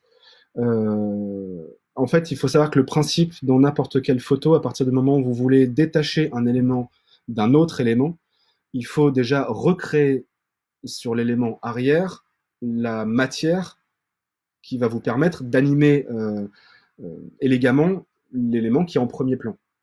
C'est-à-dire que si je veux animer les pattes du cheval, il faut évidemment que je reconstitue autant que je peux euh, ce qu'il y a, euh, bah, ce qu'il y a derrière en fait, le mur, la rue, etc. Euh, ensuite, vous avez en animation plusieurs euh, plusieurs outils. Euh, le but est déjà, avant d'utiliser ces outils, de séparer vos éléments. C'est-à-dire que là, si je mets les, les trucs, euh, voilà, c'est-à-dire que là, le but a été en premier lieu de séparer les éléments. Donc là, je pense que vous voyez un peu les les, les masques que, que je montre qui, en- qui sont en bleu. Donc là, j'ai séparé euh, la patte, donc la jambe du milieu, le sabot à gauche, euh, la jambe à gauche, le petit bout, le, le sabot, l'ombre du sabot euh, qui est à gauche. J'ai séparé aussi de la jambe droite. Euh, j'ai considéré le reste comme une espèce d'arrière-plan chevaux. Et ensuite, on a euh, la route, euh, la route et, et le fond, et le fond, et le fond. Et donc, le but est déjà de séparer ces éléments, de recréer, euh, on va dire, une, une couche sur couche, enfin de, de recréer, de, de créer l'image couche par couche. Et qui m'appelle Qui m'appelle en même temps? Désolé, je me permets de, de, de merci Franck pour ce, pour ce. Je ne sais même pas comment je vais pouvoir éteindre ça. Je suis désolé pour le son. Hop, voilà. Euh, Donc, je disais, le but est de, remettre les éléments les uns au-dessus des autres et de recréer de la matière, par exemple pour le, dans ce cas-là, euh, de recréer de la matière sur euh, chaque morceau, chaque patte. Par exemple, là, vous voyez la première patte en premier plan, la patte arrière. euh, J'ai été obligé de recréer, des morceaux sur cette patte avec un outil qu'on appelle l'outil tampon qui me permet de bah, juste de recréer des éléments et d'essayer de rendre le truc réaliste. Ensuite, ensuite l'animation de l'animation peut venir de plusieurs plusieurs choses. Si vous regardez aussi cette première patte, cette jambe du milieu, il y a deux choses qui ont été qui ont été faites. En, premier lieu, il y a ce qu'on appelle une rotation toute bête, hein, qui, est, euh, qui est la rotation. euh, si vous voyez sur le, le haut de la patte, vous voyez que le point central de rotation il est sur le haut de la patte. Donc la patte tourne, mais il fallait aussi plier la patte et j'allais pas non plus diviser la patte en je ne sais combien de morceaux. Et moi-même, je suis pas super calé en ato- anatomie, euh, euh, anatomie de, de, de, équidée, voilà. Et, donc j'ai utilisé un autre, euh, une autre chose qu'on appelle, euh, en tout cas sur le logiciel que j'utilise, qui est After Effects, qu'on appelle une marionnette. Et euh, donc on crée des, euh, des, des, on crée des, des points. Donc je sais pas si vous voyez les petits points jaunes, un petit point jaune à chaque, on va dire à chaque, en fait de, de, de, la patte. euh, qui va me permettre, en bougeant les points séparément, de recréer une fluidité de mouvement, etc. En fait, c'est de l'animation pure et dure. Les, les dessinateurs de, de, de, Disney, par exemple, euh, vous voyez le Roi Lion, les dessinateurs du Roi Lion, euh, qui ont dessiné image par image tous les, toutes les, toutes les, bah, toutes les animations des, lions euh, de, ce film, ont passé des heures et des heures dans les zoos à regarder les lions, à comprendre les lions, à étudier les mouvements des lions, etc. Et donc en fait, le, le, le ce qu'on apprend dans, des écoles d'animation, en fait, je vous dis ça, j'en ai pas fait, mais euh, je suis complètement autodidacte. Mais dans les écoles d'animation, les premiers cours, on vous apprend à euh, juste regarder les choses et à essayer de comprendre la physique des choses, la physique de ce qu'on regarde autour de nous, genre qu'une balle qui rebondit bah, essayer d'animer ensuite en, animation une balle qui rebondit, il faut déjà avoir vu cette balle qui rebondit pour comprendre comment cette balle rebondit. Donc là, pareil, le cheval, il faut euh, essayer de comprendre un minimum comment marche une patte de cheval et essayer de rendre un mouvement réaliste. Euh, et donc d'animer toutes les pattes pour essayer de, rendre les choses un, peu réalistes. Et ensuite, on, travaille sur, euh, sur ce qu'on appelle du 2,5D, donc ce que je disais tout à l'heure du parallaxe, c'est-à-dire qu'on fait bouger un petit peu le fond. Et là, je vous avoue que sur, ce, sur ce, cet exemple, c'est très très moche parce que le sol sous les pattes ne bouge pas, mais le sol derrière bouge, ce qui fait qu'on a une espèce de, de plaque tectonique en plein milieu de la route qui se défait. Mais euh, ce, cet effet 2,5D, donc de parallaxe, permet de, recréer une perspective et d'avoir l'impression qu'on est à côté de ses cheveux. Euh, de même, par exemple, dans alors si j'essaie de vous montrer un autre exemple, si ça plante, franchement, je l'aurais mauvaise. Euh, si on prend ce plan-là, par exemple, pareil, c'est le but était de d'isoler le, les différentes parties du gamin, de les animer entre elles pour avoir l'impression qu'il baisse la tête et qu'il bouge le bras. Mais il y avait aussi cette question de comment reconstituer une espèce de 3D entre les deux murs. Donc il fallait isoler le mur gauche et isoler le mur droit. Donc là vous voyez pas le masque, mais c'est juste qu'il est derrière. Euh, et ce qui fait que juste en faisant bouger les masques les uns avec les autres euh, en animation assez simple, ce qui nous permet de euh, recréer une espèce de 3D de perspective entre ces murs et en plus d'animer le petit garçon. Et là, ça, nous permet, là, l'élément recréé dans le petit, garçon est moindre. C'est-à-dire que si j'enlève les, les, calques du garçon, enregistrement du projet, oui, bah c'est bien le moment. Environ 3 secondes. Voilà, c'est-à-dire que si euh, je vous montre le petit garçon avec ou sans, euh, j'ai recréé l'élément du mur, juste ce qui me suffisait pour, euh, bah pour qu'on voit pas un double garçon en fait. Euh, parce qu'évidemment, si je dédouble les calques, j'ai plusieurs photos et donc le garçon peut se multiplier d'un calque à un autre. Et donc le but est d'enlever le garçon, en tout cas d'enlever des éléments du petit garçon suffisamment pour pas qu'on le voit se dédoubler euh, d'un calque à un autre. Donc voilà pour ça. Il y a aussi ce qu'on appelle un effet, l'effet bump, euh, qui est connu des graphistes 3D, des animateurs 3D, etc. Euh, L'effet bump permet de recréer. Euh, euh, alors c'est pas du tout ça que je voulais, que je voulais. C'était peut-être celui-là. L'effet bump permet de recréer une fausse 3D sur un élément. Là, par exemple, j'ai utilisé cet élément sur ce garçon-là. Donc, si vous vous souvenez dans le film, on a l'impression qu'il bouge la tête. En fait, le but est de créer un calque fait à base de, noir, gris et blanc, qui est celui-ci, pour mettre en valeur et pour faire bouger des, via quelques, effets, pour faire bouger des parties plus que les autres. Et donc, euh, ça fait que je mets euh, ce qui est en premier plan sur son visage en premier lieu dans l'animation 3D et ce qui est en arrière sur son visage en dernier plan de l'animation la, 3D, ce qui nous donne une, animation de son visage chose que j'ai utilisée, je crois, deux trois fois dans le, trois fois dans le film. Et si on revient sur le sur la, le film de Paul Caz sur la photo de Françoise Huguet, euh, il faut savoir aussi que tout ce que je n'utilise à chaque fois, ce n'est que ce que je trouve dans l'image. Rares ont été les fois où j'ai euh, où je suis allé chercher d'autres éléments extérieurs. Alors des fois, vous voyez des petites étincelles, un peu de fumée, etc. Donc ça, c'est ce qu'on appelle le miscellaneous et qu'on rajoute pour donner un peu d'ambiance.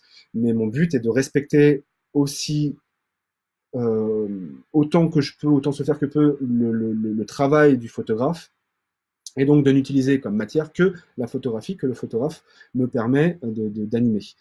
De, euh, et donc là, j'ai euh, utilisé sur, sur la photo de Françoise Huguet, non, ça ne marchera pas, si, ça marchera, si, peut-être, peut-être, je ne sais pas. Bon, là, le, le- ce, film était un peu compliqué, donc ça rame un peu, plus le, bande passante, machin, plus Internet, je pense que ça va pas aider. Mais voilà, le but était, là, sur cette photo, de n'utiliser que ce que j'avais à portée de main, et donc d'avoir le fond et, euh, et la femme. Donc le but est déjà d'isoler la femme du fond, et ensuite de recréer le fond, euh, bah, de recréer le fond sans euh, la femme. Sauf que la femme prend euh, un tiers de l'image, et ça nous donne, ça nous donne 3, 2, 1, moins 1, moins 2, moins 3. Vous verrez, en, en gros, le but a été de recréer la salle de bain alors que la femme prend le tiers de l'image. Voilà. Or, pour recréer cette salle de bain, euh, bah, je n'ai utilisé que ce que j'avais dans la photo. C'est-à-dire que ce- c'est une multiplication des carreaux pour recréer euh, une espèce de plastique rouge sur le mur. C'est euh, euh, répéter les bouts de carreaux, en enlever des petits bouts pour faire croire que c'est pas les mêmes, recréer le mur, recréer les tuyaux. En fait, tous les éléments, je les avais déjà. Le seul élément que j'ai rajouté clairement sur cette image, c'est le robinet. D'ailleurs, quand je me rapproche, vous voyez très bien que ce robinet n'a rien à voir avec le reste. Genre, tous les tuyaux sont jaunes. Et là, ce qui montre mon, peu de talent à l'époque, euh, les tuyaux sont gris. Euh, C'est-à-dire que j'aurais pu quand même euh, avoir un peu plus de soucis du détail sur, sur ce truc-là. Mais voilà, le but était donc de recréer ce fond. Et à partir du moment où je recréais ce fond, euh, bah, je, pourrais, je pouvais aussi réisoler d'autres éléments de ce fond, comme le miroir, par exemple, que vous voyez dans le film bouger un petit moment, euh, ça nous recrée une perspective. Et après, une fois que j'ai isolé le fond, enfin isolé la femme et recréé le fond, je peux animer la femme absolument comme je le souhaite. Et chose que j'ai fait ensuite, euh, c'est-à-dire que la femme, je l'ai isolée par, euh, par morceaux. Euh, c'est-à-dire que j'ai les cheveux de la femme qui, qui bougent d'une certaine manière, j'ai le bras de la femme qui bouge d'une certaine manière, j'ai le sein de la femme, j'ai sa tête, j'ai sa jambe, j'ai ensuite ce, qu'on- ce que moi j'appelle la femme, qui est en fait l'arrière-plan de tout ce qui ne va pas vraiment bouger. Euh, et chaque élément ensuite est, animé l'un avec l'autre avec les différents procédés que j'ai peut-être un peu montrés, donc que ce soit la marionnette, que ce soit juste un- une simple rotation ou changement d'échelle en abscisse ou en ordonnée. Euh, et rares sont les fois aussi où je rajoute d'autres effets par-dessus. Bon, chose que j'ai fait un peu sur, ce, sur celui-ci. Je sais pas si vous avez fait attention, mais je pense que la qualité n'était pas suffisante. Mais par exemple, sur l'eau qui coule du pommeau de douche, il y avait un petit effet pour avoir l'impression que l'eau coule. Voilà, donc ça, c'était un peu l'explication du tour de magie, où vous dites, bah ouais, mais c'est simple, en fait, quand on a euh, maintenant, si on comprend les outils, on peut le faire nous-mêmes. En fait, euh, grave, faites-le, parce que parce que c'est vraiment intéressant à faire, et c'est vraiment, enfin, moi j'adore ça, Euh, mais il faut savoir que c'est extrêmement chronophage. C'est-à-dire qu'aujourd'hui, chaque film que je fais pour, tiens, je reviens sur ma boule, chaque film que je fais pour Polka, c'est sur une, voire deux, trois photos, c'est, on va dire, trois jours de travail par photo. Euh, alors certes, aujourd'hui, je suis un peu plus rapide, un peu plus efficace parce que les outils, je commence à les connaître, à les maîtriser. Alors que sur Black Bazaar, j'ai mis un mois de travail. Je pense que Black Bazaar, si je refaisais Black Bazaar aujourd'hui, je le ferais peut-être en, allez, on va dire deux semaines, un peu plus de deux semaines. Euh, mais ça prend du temps, c'est extrêmement chronophage et, c'est, et puis vous perdez votre vue aussi parce qu'il faut faire des masques, il faut détourer les choses, il faut les aligner au poil près, il faut se dire est-ce que c'est réaliste, est-ce que c'est pas réaliste, et on se pose des questions on le refait. Le temps de calculer les rendus, ça prend des heures, etc. Enfin bref, euh, je vous conseille de faire du film photographique parce que c'est vraiment passionnant. Je ne vous conseille pas de faire du film photographique parce que c'est vraiment chronophage. Et puis qu'en plus, si vous en faites, euh, vous me volez mon boulot que déjà je n'ai plus. Alors si en plus, quand je reviens après confinement à essayer de, récupérer du taf, si en plus vous prenez le taf à ma place, franchement, je vais l'avoir un peu mauvaise. Bref, voilà pour les petits coulisses. Je sais pas s'il y a eu des questions, j'ai absolument pas. Euh, euh, cela pas. Elle a juste nettoyé le robinet. Oui, exactement, Virginie, absolument. Merci de me soutenir sur mon manque de professionnalisme et du détail. Euh, j'ai pas trop répondu à des questions, etc. Je voulais déjà bien avancer là-dessus. Je voulais quand même finir par deux trois trucs avant que j'ouvre le truc sur le sur, sur les questions. Le but a été, euh, à partir aussi de, de, de cette expérimentation que j'ai pu avoir sur Black Bazaar et sur Polka et sur d'autres films aussi, parce que j'en ai fait d'autres où il y a des choses qui s'animent, etc. Mon but aujourd'hui est vraiment d'expérimenter sur plein d'autres trucs. Le, film photographique aujourd'hui est un, un terrain d'expérimentation euh, infini, il n'y a aucun code, aucune règle à suivre. Euh, en fait, on peut faire absolument ce qu'on veut à partir du moment où euh, c'est justifié, où c'est réfléchi, où c'est en, en, rapport avec le sujet, en rapport avec ce qu'on nous raconte dans le film. Je veux dire que je vais pas faire d'un truc 3D machin, etc. Euh, par exemple, j'ai pas utilisé tous ces effets-là sur les photos de Michel Sonka pour euh, pour le, le, le, projet documentaire de Sinjar. Non, ça s'y prête pas. C'est c'est euh, c'est pas c'est pas enfin c'est irrespectueux presque pour moi. Euh, et, même certains photographes trouvent que euh, ce que je fais pour Polka ou que j'ai fait pour pour par exemple euh, c'est du sacrilège. C'est c'est c'est voilà je, je vais en faire dire que l'instantané photographique c'est sacré. Il faut pas toucher à cet instantané. À partir du moment où on modifie cet instantané c'est plus de la photo. Donc c'est comme si je venais avec mon ma bombe de peinture et taguer et, taguer un tableau de Léonard de Vinci c'est mon Dieu, c'est sacrilège. Alors, c'est une discussion que moi j'aime bien avoir parce que, parce que les arguments des deux parties peuvent être vachement intéressants et c'est des discussions vachement intéressantes qu'on peut avoir.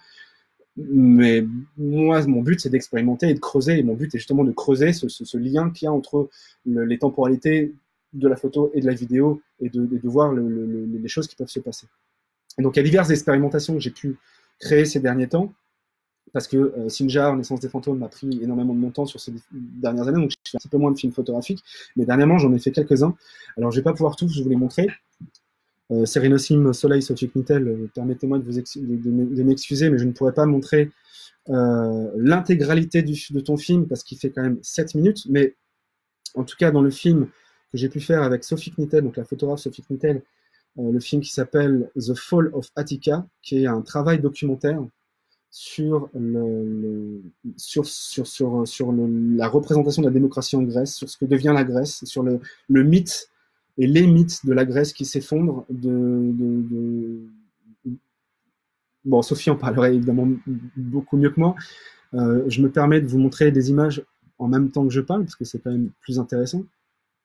Je coupe le son. Bon, je coupe le son. Voilà. Euh, et donc, The Fall of Attica, il y a une expérimentation de la chute, de la chute d'un, de la chute d'un mythe, de la chute d'une démocratie, de la chute d'un pays.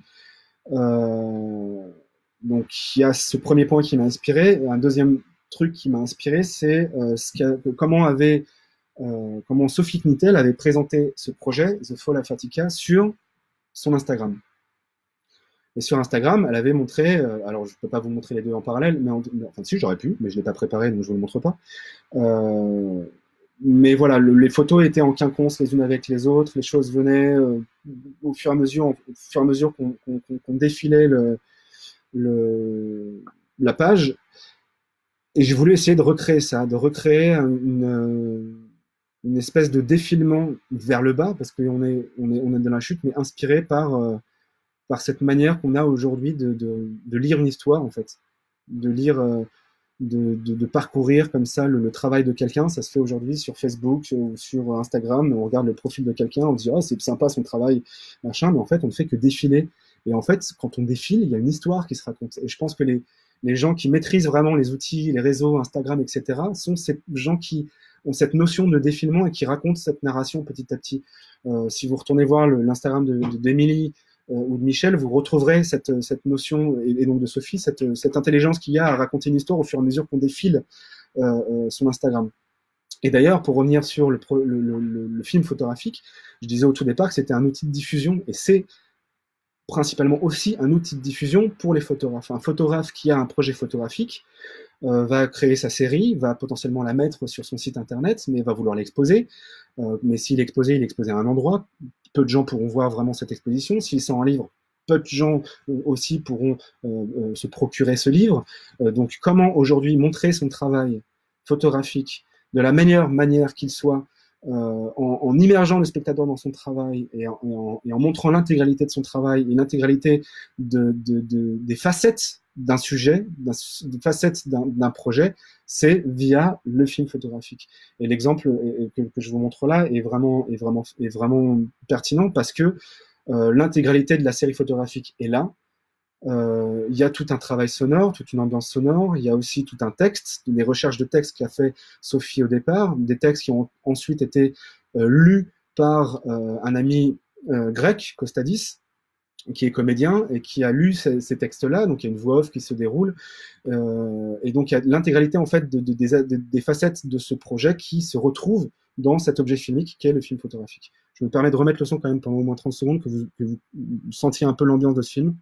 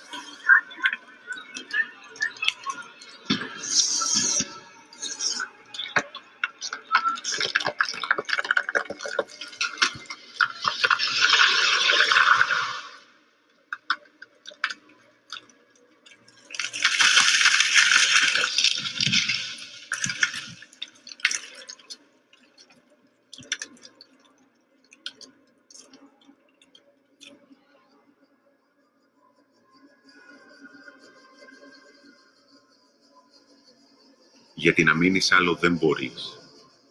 Γιατί το βλέμμα αφήνει τα είδωλα να σπαρταρούν, ώσπου να πήξει η λίμνη. Το χέρι σου να πάψει να σκαλίζει τα έντερα και τη σποδό, αναζητώντας ένα πέλεκι άχρηστο και ας ξύνει η θάλασσα το λίθο. Απόλυσης. Γιατί ψάχνεις το όρος και τα καρδιά κάτω από τα στέρια Voilà, je me permets d'arrêter pour passer ensuite à la suite. Alors, je, reviens sur un point, l'importance du détail. -dire que si vous voulez favoriser l'immersion dans un film, il faut vraiment penser à tous les détails. Tout se doit d'être justifié. Vous avez vu dans Black Bazaar, euh, Black Bazaar a été fait, les photos ont été faites à Istanbul. Euh, bah, la voix off a été euh, dite par, un Turc. Là, pareil, c'est un projet sur la Grèce. Il me semblait beaucoup plus pertinent d'avoir un Grec qui raconte ça. Euh, c'est juste dans ce principe d'immersion euh, que je veux le plus, bah, le plus, le plus pertinent possible et le plus, le, plus poussé euh, possible. Parce que mon but est de raconter un film, mon but est de développer une narration, mon but n'est pas juste de montrer les photos, des photos les unes après les autres, en me disant ok je vais mettre trois secondes par photo et puis je vais mettre une musique de Johnny Cash qui va bien un peu avec l'ambiance de, de ma série. Euh, il y a des festivals qui projettent euh, ce genre de film euh, et qui, il y a des gens qui aiment ce genre de film, il y a des photographes qui font ce genre de film. Je ne dis pas le contraire, enfin, ces films existent et tant mieux. Je pense que pour mettre vraiment en avant un travail photographique, il faut, on, se doit de, vraiment plonger dedans, plonger dans le sujet, d'essayer de vraiment créer une narration, vraiment montrer qu'on a compris le sujet et, qu'on, et, et, et, et, amener le spectateur à lui-même le comprendre totalement jusque dans les détails. J'avais fait aussi une autre expérimentation avec, euh, avec Emilie Arfeuil, donc là pour une vidéo d'installation qui s'appelle Boris et Maria, sur son projet. Euh, euh, le masque. Le masque. Sur son projet de, de, de, de des métamorphoses de Proté, pardon. Euh, et là, c'était une autre expérimentation aussi à base de photos. Ça reste un film photographique, ça reste un, un, un film fait à base uniquement de photos. Là, le, le, le but était de, de travailler euh, sur euh, du Polaroid et d'essayer de, de, créer euh, un univers, une narration et l'histoire de ces deux personnes qui tiennent la photo, qu'on voit en arrière-plan un peu flou, de, de, raconter leur, évolution de couple et leur évolution euh, d'identité, de personnalité et, de, relation via euh, toutes les photos qu'ils avaient pu poster pendant dix ans sur leurs réseaux sociaux et qui ont été ensuite refotographiées, que j'ai refotographiées ensuite en Polaroid. J'ai ces Polaroid que je reprenais en photo euh, pendant leur développement. Donc, euh, il y avait plus ou moins une photo toutes les 5 secondes, je crois, du développement, et toutes ces photos de tous les développements que je mettais les uns après les autres pour euh, recréer ça, et qui était donc un film qui était, qui faisait partie, qui était une installation qui fait partie donc de l'exposition euh, euh donc d'Emilie Arfeuil, d'Emilie qui s'appelle Les Métamorphoses de Proté. Et si je me permets de remettre le son, vous allez reconnaître une petite voix que vous avez déjà peut-être un petit peu entendue. L'idée de la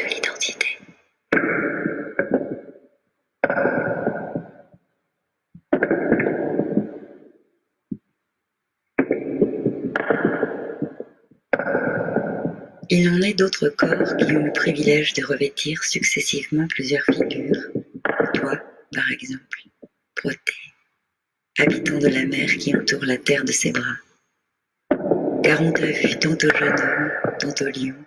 Un jour tu étais un sanglier furieux, une autre fois un serpent dont on redoutait le contact, ou bien encore un taureau armé de cornes. Souvent, on pouvait te prendre pour une pierre.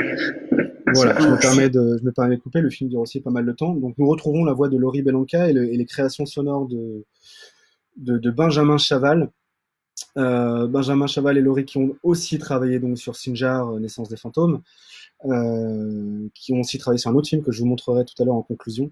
Euh, je me dis quand on a des talents autour de soi, bah, euh, bah autant travailler avec eux, euh, voilà. Et que donc Laurie et Benjamin qui sont des amis, bah, je me ferai un plaisir de travailler encore, euh, si possible, le plus possible, régulièrement avec eux, si les projets et les budgets le permettent.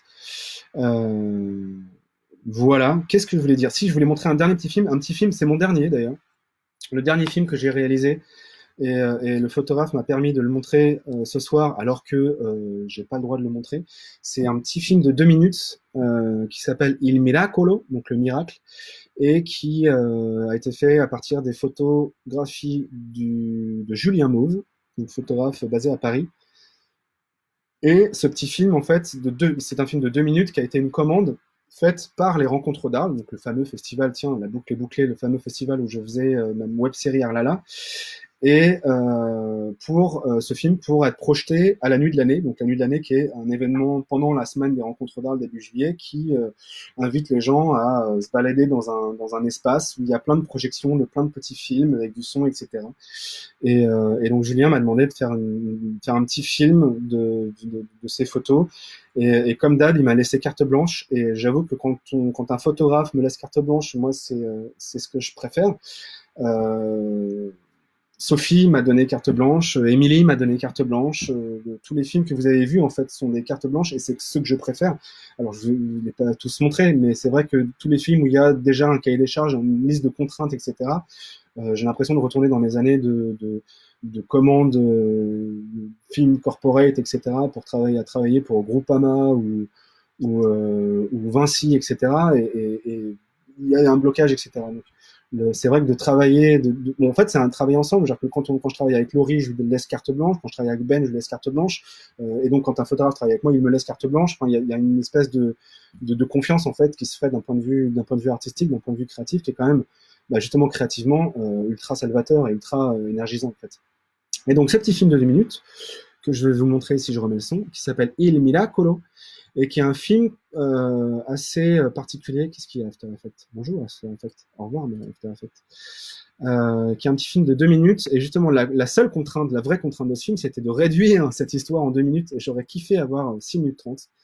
Mais j'ai réussi à faire un truc en deux minutes. Julien Mauve apprécie ce film. L'équipe des Rencontres d'Arles apprécie ce film. Ne dites à personne que vous avez vu ce film parce que c'est censé être une avant-première à Arles qui potentiellement sera de toute façon annulée. Donc, donc, euh, donc, euh, donc euh, voilà, je m'en fous. Et où est ce film? Pourquoi je l'ai pas? Il est pas là. Oh, j'ai oublié de le prendre. J'ai oublié de le prendre, j'ai oublié de le mettre. Ok, et ben, bim, en, en direct, je branche, je me permets de me montrer, voilà, pour faire genre. Non, mais je voulais vous raconter un truc, en fait, une anecdote. Alors l'autre jour, l'autre jour, je suis allé acheter du PQ. C'était vraiment chouette.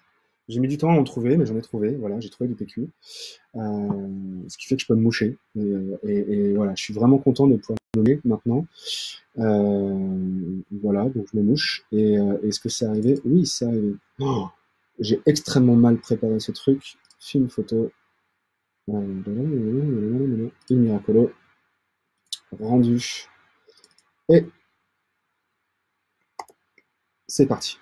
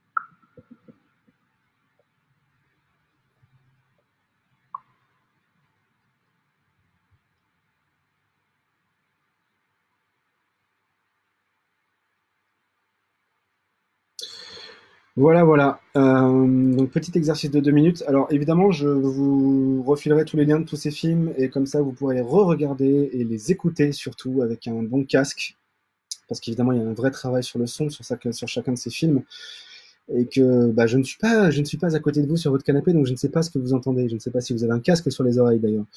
Euh, donc je ne sais pas si le son est suffisamment qualitatif pour que vous puissiez euh, voir ça. Pour finir, avant que je vous invite à me poser des questions ou pas, euh, le, futur, quel est le futur le, futur du film photographique Je n'en sais rien. En tout cas, mon futur, il y a trois choses qui se passent, euh, qui vont se passer dans les prochains mois. Déjà, il y a une formation qui est en train de se créer euh, grâce à Tropisme, pour le coup. Euh, et merci à Fanny, Fanny, Fanny, Fanny Chaz, Fanny Chaz, je crois que Fanny, Fanny Chase, formation. Donc, je suis en train de développer une formation avec Elysion Macadam, qui est, le- à la base de la création de Tropisme, donc à Montpellier, et qui se passera à Tropisme, à Montpellier, et qui, une formation qui va avoir, su- qui, aura lieu sur cinq jours, exactement du 28 septembre au euh, 1er octobre, plus un autre jour, 15 jours après. Je ne vais pas vous raconter les détails de cette formation, mais c'est une, une formation qui est, euh, qui, est, qui est une vraie formation, donc euh, AVDAS, machin, etc. Euh, donc si vous êtes intéressé, n'hésitez pas à revenir vers moi, euh, parce que c'est une formation qui va être dédiée au film photographique et qui va être vraiment basée sur comment faire un film photographique. Donc c'est une formation qui est faite à la fois pour les photographes euh, qui veulent en faire, à la fois pour des monteurs qui veulent travailler pour des photographes qui veulent en faire.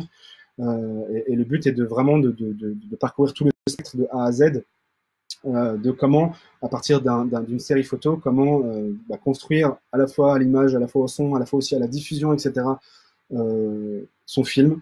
Et, euh, et voilà, c'est cinq jours, cinq jours de formation euh, à partir de fin septembre. Donc euh, n'hésitez pas à me demander euh, parce que parce que vous pouvez déjà en fait vous inscrire entre guillemets parce que la formation aura lieu, elle est elle est actée.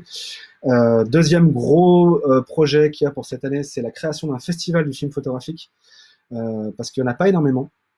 Il n'en existe pas énormément et le but est d'en créer un basé à Paris qui s'appellerait potentiellement les Nuits photographiques de Paris, qui existait déjà euh, grâce à Nicolas Havet et à, Guillaume Chamaillan, mais un, festival qui n'existe plus et euh, qui, j'espère, grâce à eux, va pouvoir renaître, parce que je leur demande si c'est possible de reprendre le nom, etc. Mais c'est euh, en, reliant, en, associant le prix Diaporama Sonore de Diapéro et en associant le prix Nouvelles Écritures de Freelance dans un même événement qui va permettre la création potentiellement au fur et à mesure, peut-être pas cette année, mais l'année d'après, d'un- d'un- d'une soirée, voire d'un festival de projection de films, etc., avec remise de prix, etc. Donc euh, ça, va être mon petit bébé de ces prochains mois, prochaines années, et je suis assez content de me lancer là-dedans. Et sinon, je suis déjà sur, d'autres projets de films. Euh, Je suis en train de travailler sur un, film avec euh, le photographe Nicolas Serve, qui va s'appeler J'ai voulu noyer mes soucis, qui est une espèce de petit exercice de style sur des photos de ce qu'on appelle urbex, où il a visité des, un vieil hôpital dans les Vosges, je crois, et euh, avec des trucs un peu flippants, etc. Et mon but est de réutiliser plein de sons du film Shining pour euh, recréer une espèce de film un peu flippant. Donc c'est vraiment un exercice de style. Euh, mais voilà, je suis aussi en train de travailler sur un, potentiel premier film photographique en 3D. Euh, c'est-à-dire de réutiliser des, des- vues stéréoscopiques du 19e siècle ou du début du 20e siècle euh, pour faire un film photographique potentiellement avec animation, mais ça j'en suis pas sûr, et euh, en utilisant des outils euh, qu'on peut utiliser chacun. Alors le but n'est pas d'avoir un casque de réalité virtuelle, mais on peut utiliser, euh, euh, moi je pense que je vais utiliser ce qu'on appelle l'anaglyphe, et donc euh, il suffira de vous procurer une petite euh, paire de lunettes rouge et bleu pour pouvoir voir ce film photographique, donc ce serait le premier film photographique en 3D de l'histoire. Euh, à part avoir un mini paragraphe dans le Guinness Book des records, je suis pas sûr que ça intéressera beaucoup de monde, mais en tout cas moi ça me passionne.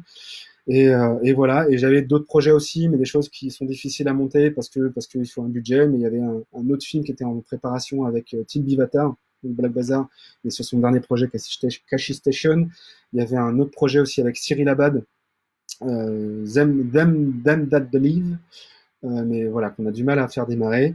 Et euh, mais voilà, en gros, je fais genre, j'ai plus de boulot, mon Dieu, j'ai plus d'argent. Mais en fait, certes, il y a plus d'argent, mais j'ai quand même des projets, j'ai quand même du boulot. Donc euh, c'est ce qui remplit mes journées. Voilà, donc euh, bah, je vous remercie déjà. Je ne sais pas quelle heure il est, il est 19h47, mais évidemment 19h47. On voulait que ça dure une heure, ça dure 1h45. Si vous avez deux trois questions avant d'avoir vraiment envie de pisser ou avoir vraiment envie de d'aller manger ou de faire autre chose, parce que j'ai pas envie de squatter, euh, de, squatter toute votre soirée. D'ailleurs, vous remarquerez que j'ai changé mon ambiance lumineuse. Mais voilà, si vous avez des questions, alors certes, les questions vont arriver euh, euh, une minute après que je les demande, mais je peux vous raconter une autre anecdote. L'autre anecdote, ah ouais, tiens, je suis, je suis allé sauver mon chat l'autre jour qui était perdu depuis trois jours, et en allant le sauver, qui était, il était coincé dans une petite cour, une petite cour euh, où il pouvait pas en sortir, et en allant le sauver, je suis arri- arrivé dans la cour, et en fait, euh, en arrivant je me suis blessé, je me suis euh, ouvert la main, et je me suis retrouvé comme un con, bloqué avec le chat dans la cour. Donc voilà, quand on dit que les humains sont plus intelligents que les chats, c'est faux. Et donc, si vous avez des questions, mets ta tête en grand pour les questions. Bon apéro. Ah oui, ça doit être génial en 3D. Oui, ça va être génial en 3D, j'espère. Alors, je- secrétaire, Anne-Charlotte, euh, avez-vous euh, noté les questions que je n'ai pas lues euh Ah, Vivian, Vivian, Vivian Gaumont, qui a fait, euh, qui euh, Vivian qui a fait un film euh, avec Tony Bertrand qui est dans la Dépérothèque. Donc, euh, allez voir ce film qui s'appelle I Shot Her. Euh, comment va mon pouce? Mon pouce va bien, mon pouce va mieux. Regarde, je peux bouger le pouce. Merci, euh, Johan, de t'en inquiéter. Euh, je commence à ne plus avoir de voix. Heureusement, j'ai de quoi encore m'hydrater. Merci. Pas de questions, juste beaucoup de love. Merci, Sophie. Est-ce que c'est toi qui plie les t-shirts derrière toi? Eh bien, euh, alors je sais pas si la question est ironique ou pas, mais en tout cas, oui, je plie mes propres t-shirts et je les mets ensuite en tas. Euh, je vais pas m'amuser à vous expliquer mon toc de ranger les, t-shirts manches longues, euh, manches plus courtes, euh, débardeurs. Euh, voilà, là vous avez les petits pulls d'été, les petits pulls d'hiver. Merci Laurent pour votre question. Et, mais voilà, vous avez le droit de, vous avez le droit de me, vous avez le droit d'arrêter. hein. Moi-même, je vais me pisser dessus en fait à un moment. Donc en fait, si vous avez des questions, je serais vraiment ravi d'y répondre. Euh, Est-ce que une question de César Coleman, une question de Brigitte en Creuse. Merci Brigitte pour votre question.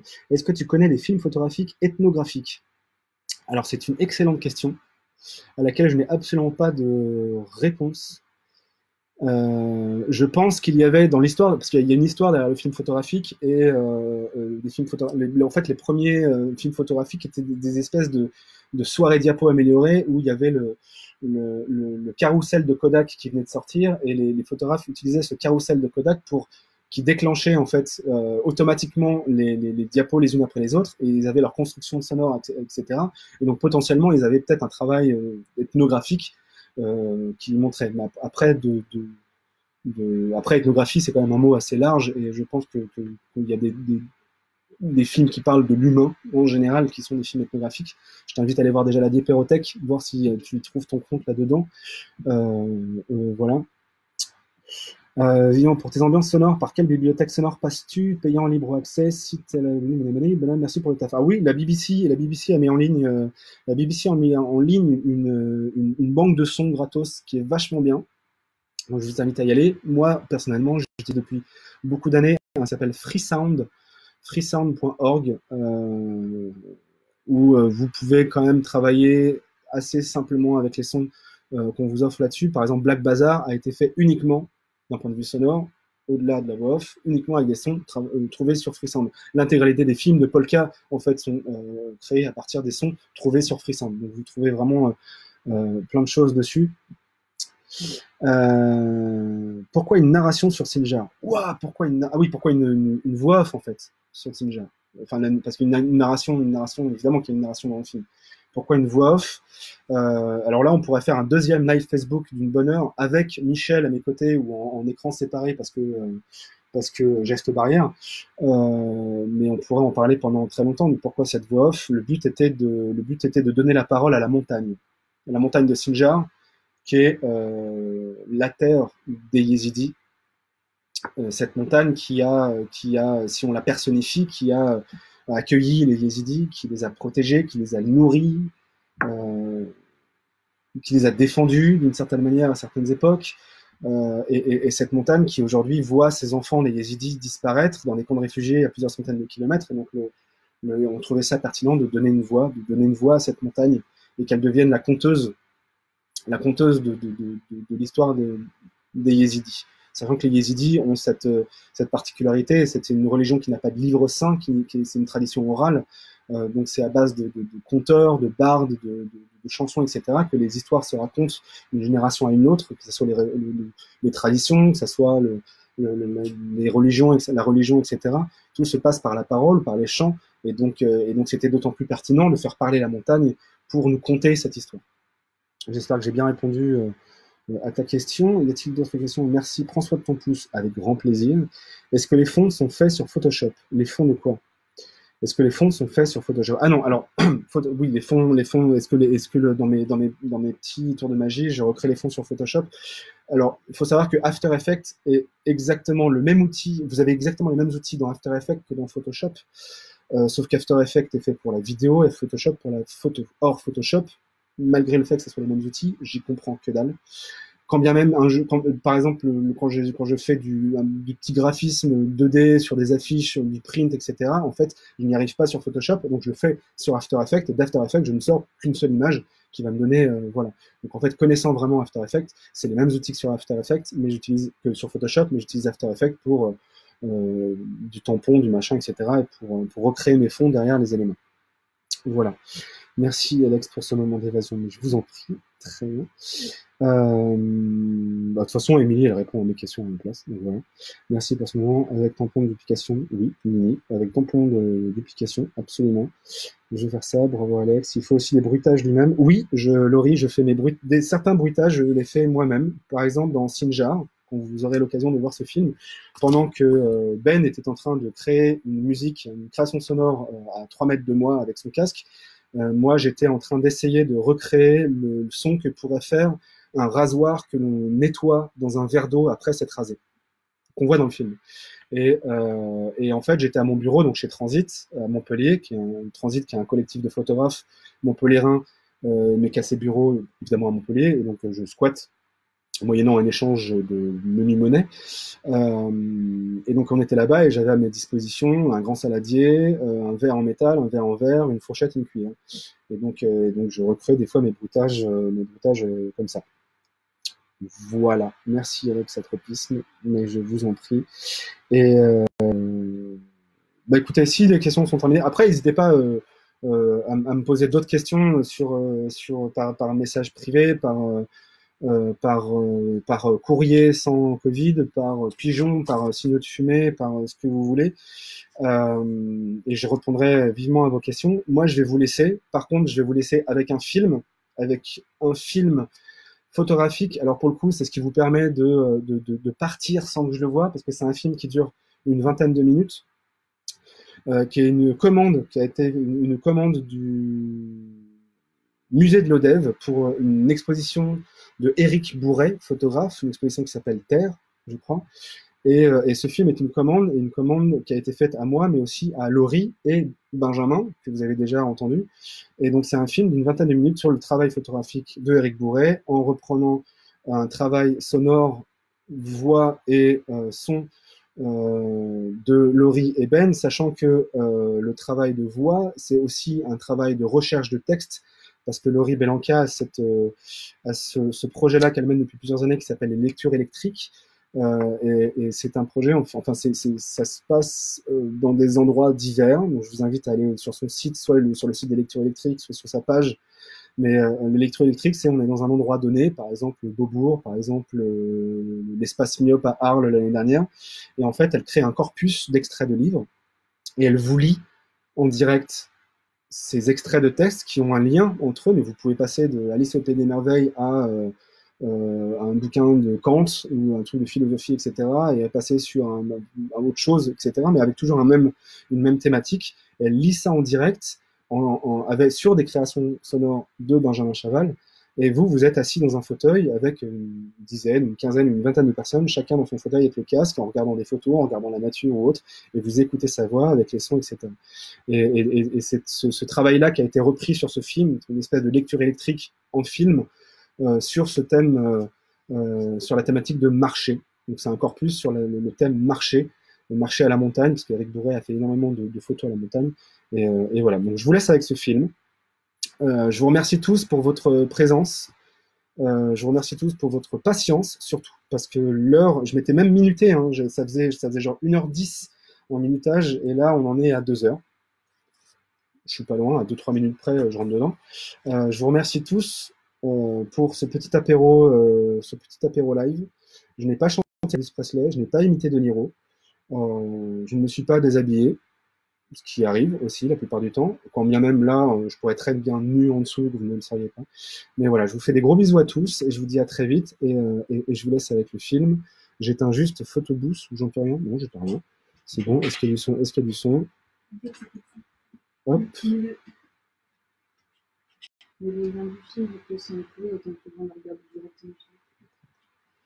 Et euh, euh, pour le coup, là, je vous mets le film. Et si vous trouvez que le son est pas top top, de toute façon, je vous mettrai le lien ensuite. Alors, peut-être pas ce soir, peut-être ce soir, peut-être demain matin, je sais pas. Je vous mettrai euh, le lien vers le film. Non, il n'y a pas de lien vers le film. C'est pareil, c'est un film. euh, film avant-première en fait, parce que c'était pour une exposition qui a été annulée, un vernissage qui a été annulé, donc c'est un film que vous voyez là, mais a- il n'est pas sur Internet. Donc je verrai avec Eric, Laurie et Ben s'il y a possibilité de le mettre d'une certaine manière pour que les gens le voient. Je verrai aussi avec le musée de l'Odève. Mais en tout cas, voilà, je vous l'avais là, ça dure 20 minutes, ce qui vous permet de, sortir tranquillement de notre petite euh, interaction euh, virtuelle. Et euh, je remercie encore Tropisme et toute son équipe, et je vous fais gros bisous, et à bientôt.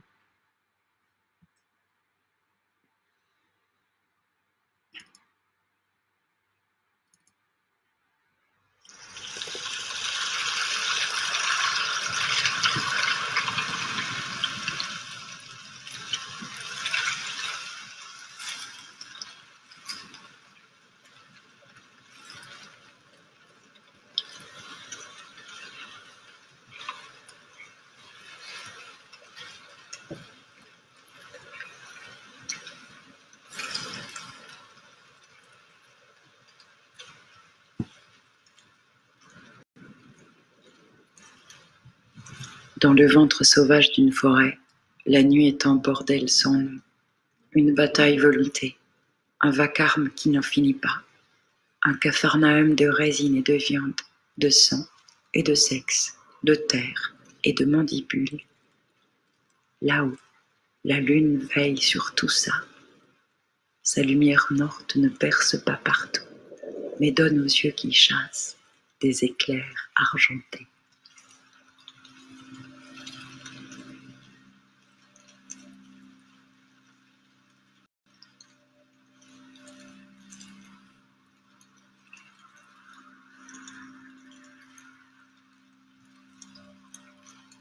Tu es venu de loin, tu es venu jusqu'ici. Je le suis, suis venu comme toi. Tu sais, tu sais et tu vois. La terre s'est plissée, ici en haut, s'est plissée une fois, deux fois, trois fois, et s'est ouverte au milieu. Et au milieu s'étend une eau, et l'eau est verte, et le vert est blanc, et le blanc vient de plus haut encore, vient des glaciers. On pourrait le dire, mais on ne le doit pas. Tel est le langage qui accourt ici. Le vert avec le blanc dedans. Un langage qui n'est fait ni pour toi ni pour moi. Car je le demande, pour qui est-elle conçue La terre? Elle n'est conçue, dis-je, ni pour toi ni pour moi. Un langage est bien sans je et sans tu. Rien que rien que ça. Comprends-tu? Rien que ils, et seulement cela.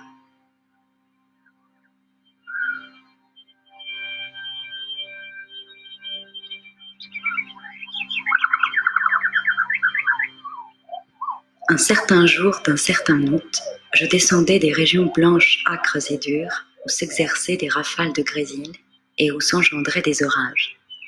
Je savais que diverses circonstances m'empêcheraient avant longtemps de retourner au pays aérien, des arêtes déchiquetées, dansant en plein ciel, l'illusion du haut et du bas des corniches blanches tracées dans l'abîme bleu-noir d'en haut, et qui s'écroule au milieu d'un après-midi silencieux.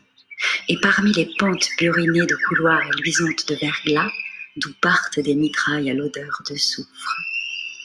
Une fois encore, j'avais voulu flairer la laine verdâtre d'une crevasse, palper une dalle, me glisser entre des blocs crawlants, assurer une cordée, peser les va-et-vient d'un coup de vent, écouter l'acier teinté sur la glace et les petits morceaux cristallins dévalés vers le piège de la rime trompeuse. Tracer une piste dans les diamants et la farine, me confier à deux brins de chanvre et manger des pruneaux au centre de l'espace. Traversant de haut en bas une nappe de nage, je m'étais arrêtée, au premier saxifrage, devant une grande chute de sérac, gigantesque écharpe aux plis nacrés, qui spiralement descendait vers le grand désert de pierre du fond. Ne pouvant courir les montagnes, je les chanterai d'en bas. Je me mis à penser plus sérieusement, avec la lourdeur et la gaucherie dont on remue alors la pensée, lorsqu'on a vaincu son corps en vainquant le rocher et la glace. Je ne parlerai pas de la montagne, mais par la montagne, avec cette montagne comme langage. Je parlerai d'une autre montagne, qui est la voie unissant la terre au ciel, et j'en parlerai non pas pour me résigner, mais pour m'exhorter. Et toute l'histoire, mon histoire jusqu'à ce jour, vêtue de mots de montagne, fut tracée devant moi. Toute une histoire qu'il me faudra maintenant le temps de raconter.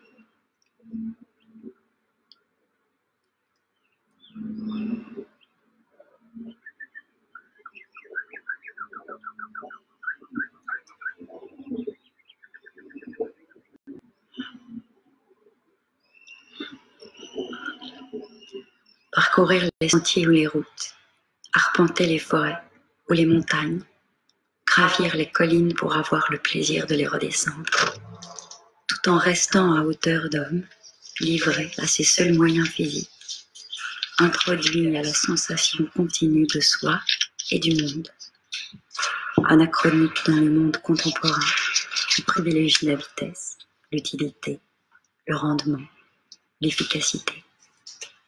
Ici, la marche est un acte de résistance.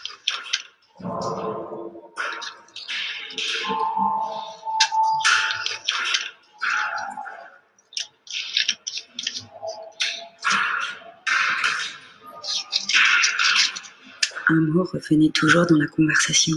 C'était le mot errance. Mais comment photographier cette errance? Et d'abord, qu'est-ce que cela voulait dire? Je rentrais chez moi et regardais la définition d'errer dans un dictionnaire. Errer. Aller ça et là à l'aventure. Aller de côté et d'autre en parlant des choses qui ne se fixent pas, qui s'égarent par contre, pour la définition d'errement, cela devenait plus confus. Il y avait s'égarer, faire fausse route, se tromper, et la racine du latin médiéval iterar, voyager, aller droit son chemin. Quelques jours plus tard, un ami croisé dans la rue par hasard, qui prétendait bien me connaître, m'affirma que je ne serais jamais dans l'errance, car j'avais toujours un projet derrière chaque voyage, J'écoutais tel photographe qui confondait l'errance et le carnet de voyage. Un autre voyait le portfolio comme une errance. Et plus la définition devenait insaisissable, plus l'idée de ce défi me plaisait. Est-ce qu'on peut être normal et errer? L'errance, c'est une conduite sans but déclaré. Moi, je considère que l'errance est un phénomène normal dans l'humanité comme si le fait d'être ensemble partout engendrait de l'errance. Un jour, je reçois par télécopie un étrange texte qui va finir de me rassurer. Il est signé de monsieur Alexandre Lemonnier. Errance ou la pensée du milieu.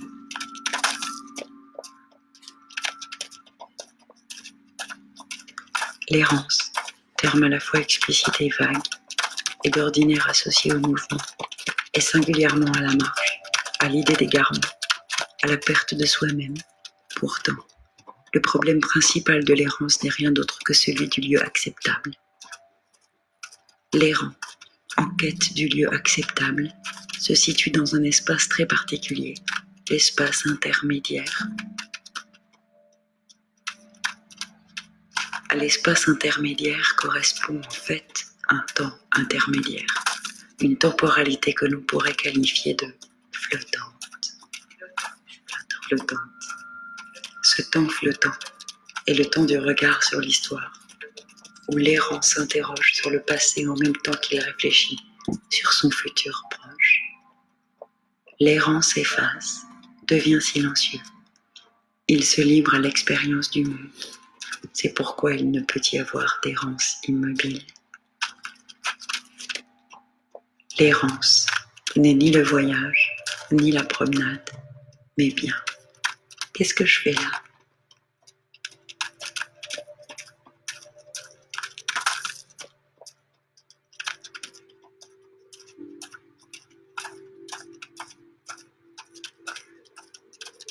Dans le ventre sauvage d'une forêt, la nuit est un bordel sans nom, une bataille volutée, un vacarme qui n'en finit pas, un capharnaüm de résine et de viande, de sang et de sexe, de terre et de mandibules. Là-haut, la lune veille sur tout ça. Sa lumière morte ne perce pas partout, mais donne aux yeux qui chassent des éclairs argentés.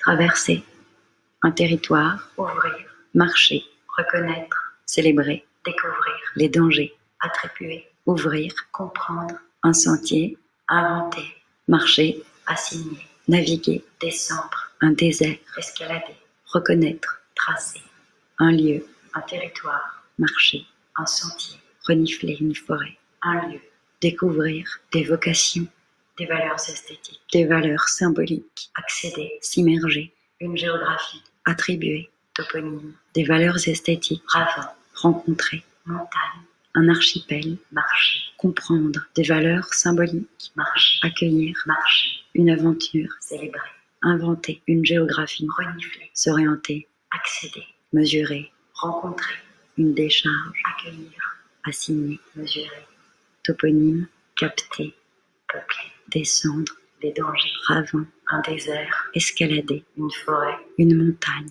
un continent peuplé, un archipel, sensation, une aventure, construire, une décharge, des relations, ailleurs, des sensations, des relations, s'immerger.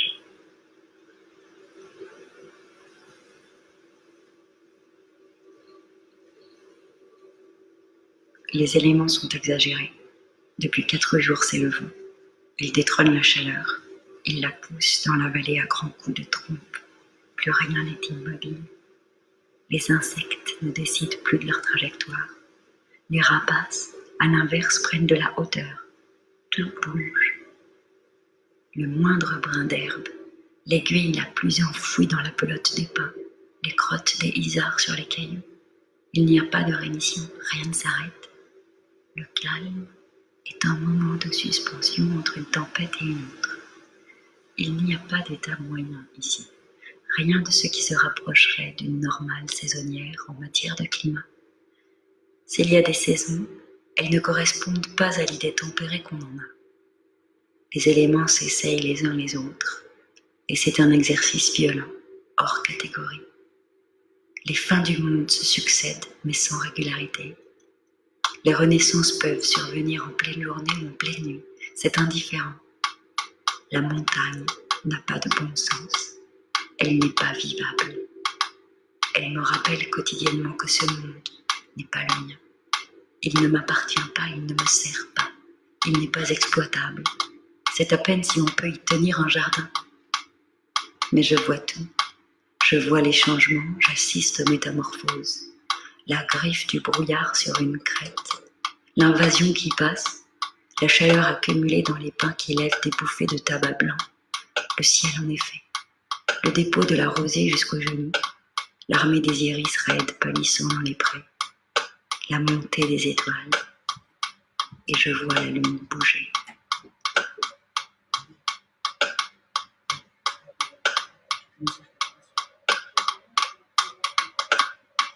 Il n'y a aucune stabilité nulle part. L'activité est constante et contrairement à celle des mégapoles, elle n'a aucun rapport avec nous. Ce monde n'est pas fait pour nous et c'est un immense soulagement.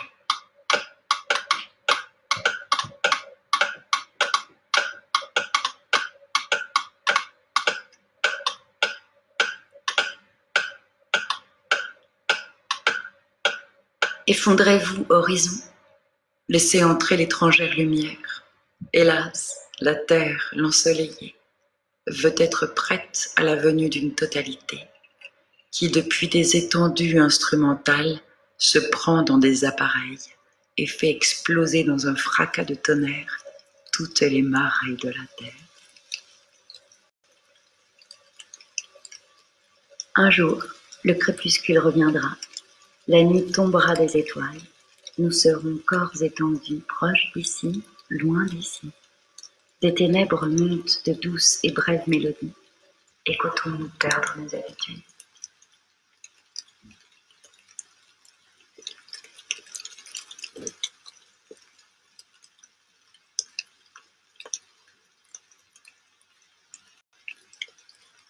Que veut dire sortir d'abysse où règne l'indistinct?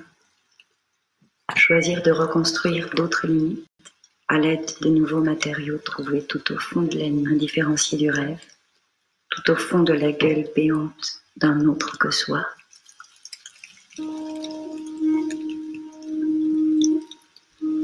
Et je pense au petit rat musqué et à l'homme du mythe concernant la création du monde. Je pense à l'océan sans limite sur lequel il flotte, incertain, ouvert, non borné,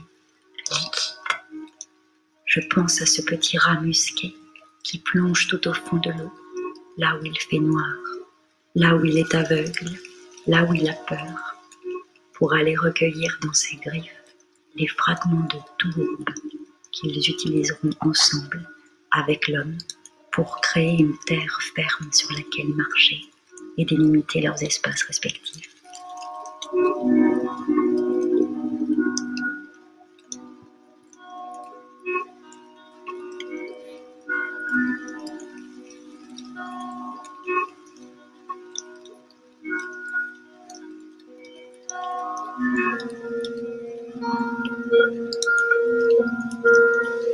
D'où viennent les plus hautes montagnes C'est ce que j'ai demandé jadis. Alors, j'ai appris qu'elles viennent de la mer. Ce témoignage est écrit dans leurs rochers et dans les pics de leur sommet. C'est du plus bas que le plus haut doit atteindre son sommet. Un sentier qui montait avec insolence à travers les éboulis. Un sentier méchant et solitaire un sentier de montagne criait sous le défi de mes pas. Plus haut, résistant à l'esprit qui l'attirait vers en bas, vers l'abîme, à l'esprit de la lourdeur, mon démon et mon ennemi mortel. Plus haut, quoiqu'il fût assis sur moi, l'esprit de lourdeur, moitié nain, moitié taupe, paralysé, paralysant, versant du plomb dans mon oreille, versant dans mon cerveau, goutte à goutte, des pensées de plomb. Le sentier, ou même le chemin, est une mémoire incisée à même la terre, la trace, dans les nervures du sol des innombrables marcheurs ayant hanté les lieux au cours du temps, une sorte de solidarité des générations nouée dans le paysage. L'infinitésimale signature de chaque passant est là, indiscernable. Le marcheur affleure la surface de la route. Il ne s'affaire pas à la lutte de l'automobiliste, parfois mortelle pour lui ou pour les autres, avec un itinéraire qu'il cherche à quitter au plus vite pour arriver à destination. Emprunter ces routes terreuses amène à emboîter le pas à la foule des autres marcheurs, au long des invisibles mais réelles connivences. Le chemin est une cicatrice de terre au milieu du monde végétal ou minéral, en proie à l'indifférence du passage des hommes, le sol battu des myriades de pas imprimés pour une infime durée est une marque d'humanité.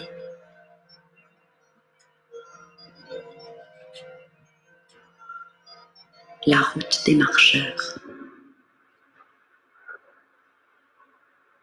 et vivante.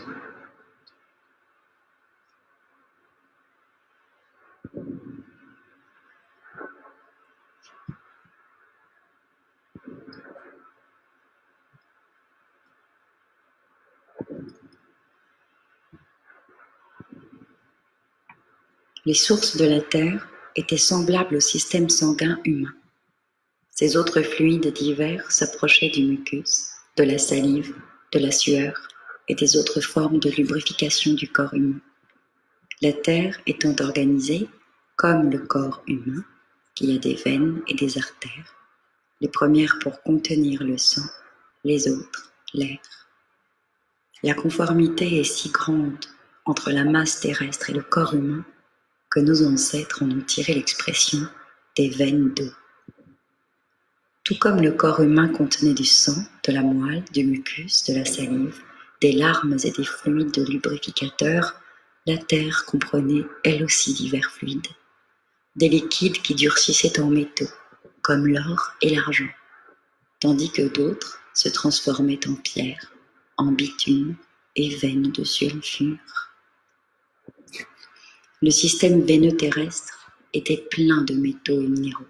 Ces veines, vénules, jonctions et canaux parcouraient l'ensemble de la Terre, en particulier les montagnes. Ces humeurs s'écoulaient des vénules vers des veines plus larges. La Terre, comme le corps humain, possédait même son propre système d'évacuation. Leur tendance commune à briser les vents causait pour l'une des tremblements de terre et pour l'autre un type de séisme différent.